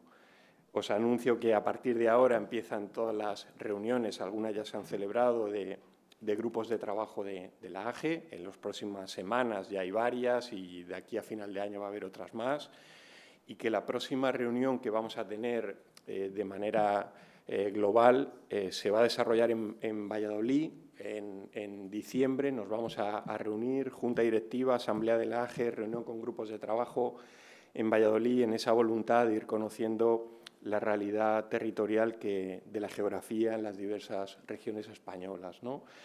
Por tanto, bueno, gracias a todos. De verdad, yo mm, os tengo que confesar que llevamos unos meses de trabajo bastante intensos en, la AGE, pero noto, mm, y, os lo quiero agradecer públicamente, noto que hay interés en que cambiemos cosas, ¿no? o, creo que es el momento de cambiar cosas, me lo vais a permitir así. ¿eh? Eh, cuando entrábamos este grupo que ahora estamos en la AGE, eh, nos marcamos varios objetivos, pero uno es intentar cambiar cosas en la AGE, ¿eh? mm, siempre de manera razonada y bien pensada. Y, en segundo lugar, un tema que nos está costando un poco más, pero bueno, vamos, vamos a ver cómo lo podemos solucionar, que es rejuvenecer la asociación. ¿eh? Eh, estamos aquí los que estamos y vamos cumpliendo años cada vez más. Nos hace falta gente joven, gente que nos alimente por la base y este es un reto importante.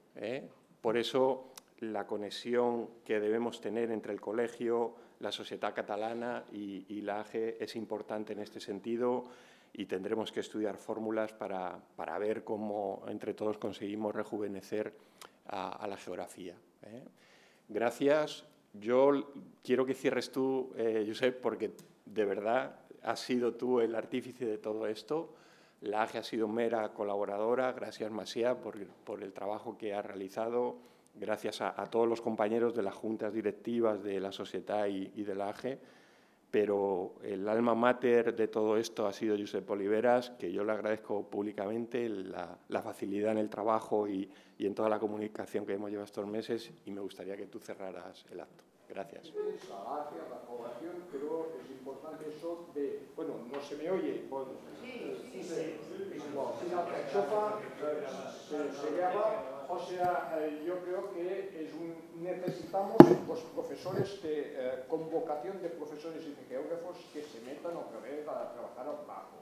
Lo que no puede ser es que para hacer un papel en inglés que le dan 25 como máximo, la gente se vuelva loca y con cosas que a lo mejor no tienen ninguna importancia, pues sí, la, tienen por si se adquiere, si te, si te dan un sexenio de más, un sexenio de más y se pierde eh, calidad a veces en la docencia, mucha preocupación por investigación, es importante en la universidad naturalmente la investigación, pero un mundo cuando entra un profesor en la universidad entra como docente y además investigación, y no determinada gente que se cree que lo suyo es la investigación, que no tengan que dar docencia o reducir la docencia al máximo porque son superiores a nosotros. Eh, así que, eh, y digo realmente, yo soy muy directo, y perdonadme si, como soy muy directo, Hace poco yo estaba eh, cenando con un grupo de economistas, de, profesores de economía de la Universidad de, Barcelona, de los antiguos, de las primeras promociones, y decían, qué lujo tener a Jaume Vicens Vives dando clase a los de primero, a los de segundo, a Jordi Nadal dando clases a los de segundo, a Manuel Sacristán dando clase. Claro, qué lujo, ¿no? Y esa gente también producía, trabajaba, había unos ritmos, tendrían sus ayudantes, qué lujo. Y yo puedo decir, pues qué lujo, tuve a Horacio Capel de profesor, daba las clases, cumplía, y Actualmente no todo el mundo, eh, eh, no todo el mundo ni mucho menos, pero los hay que intentan escaparse en función de no sé qué, ¿no? Así no vamos, se van a salvar algunos, pero lo que vamos a hundir es la geografía o determinados conocimientos. O sea, si a la gente no se lanza a ayudar, a cooperar, con el individualismo ese que genera ese sistema global que de, liberal, no vamos a ningún sitio. O sea, animaros y animar a la gente a trabajar y a colaborar. Nada más.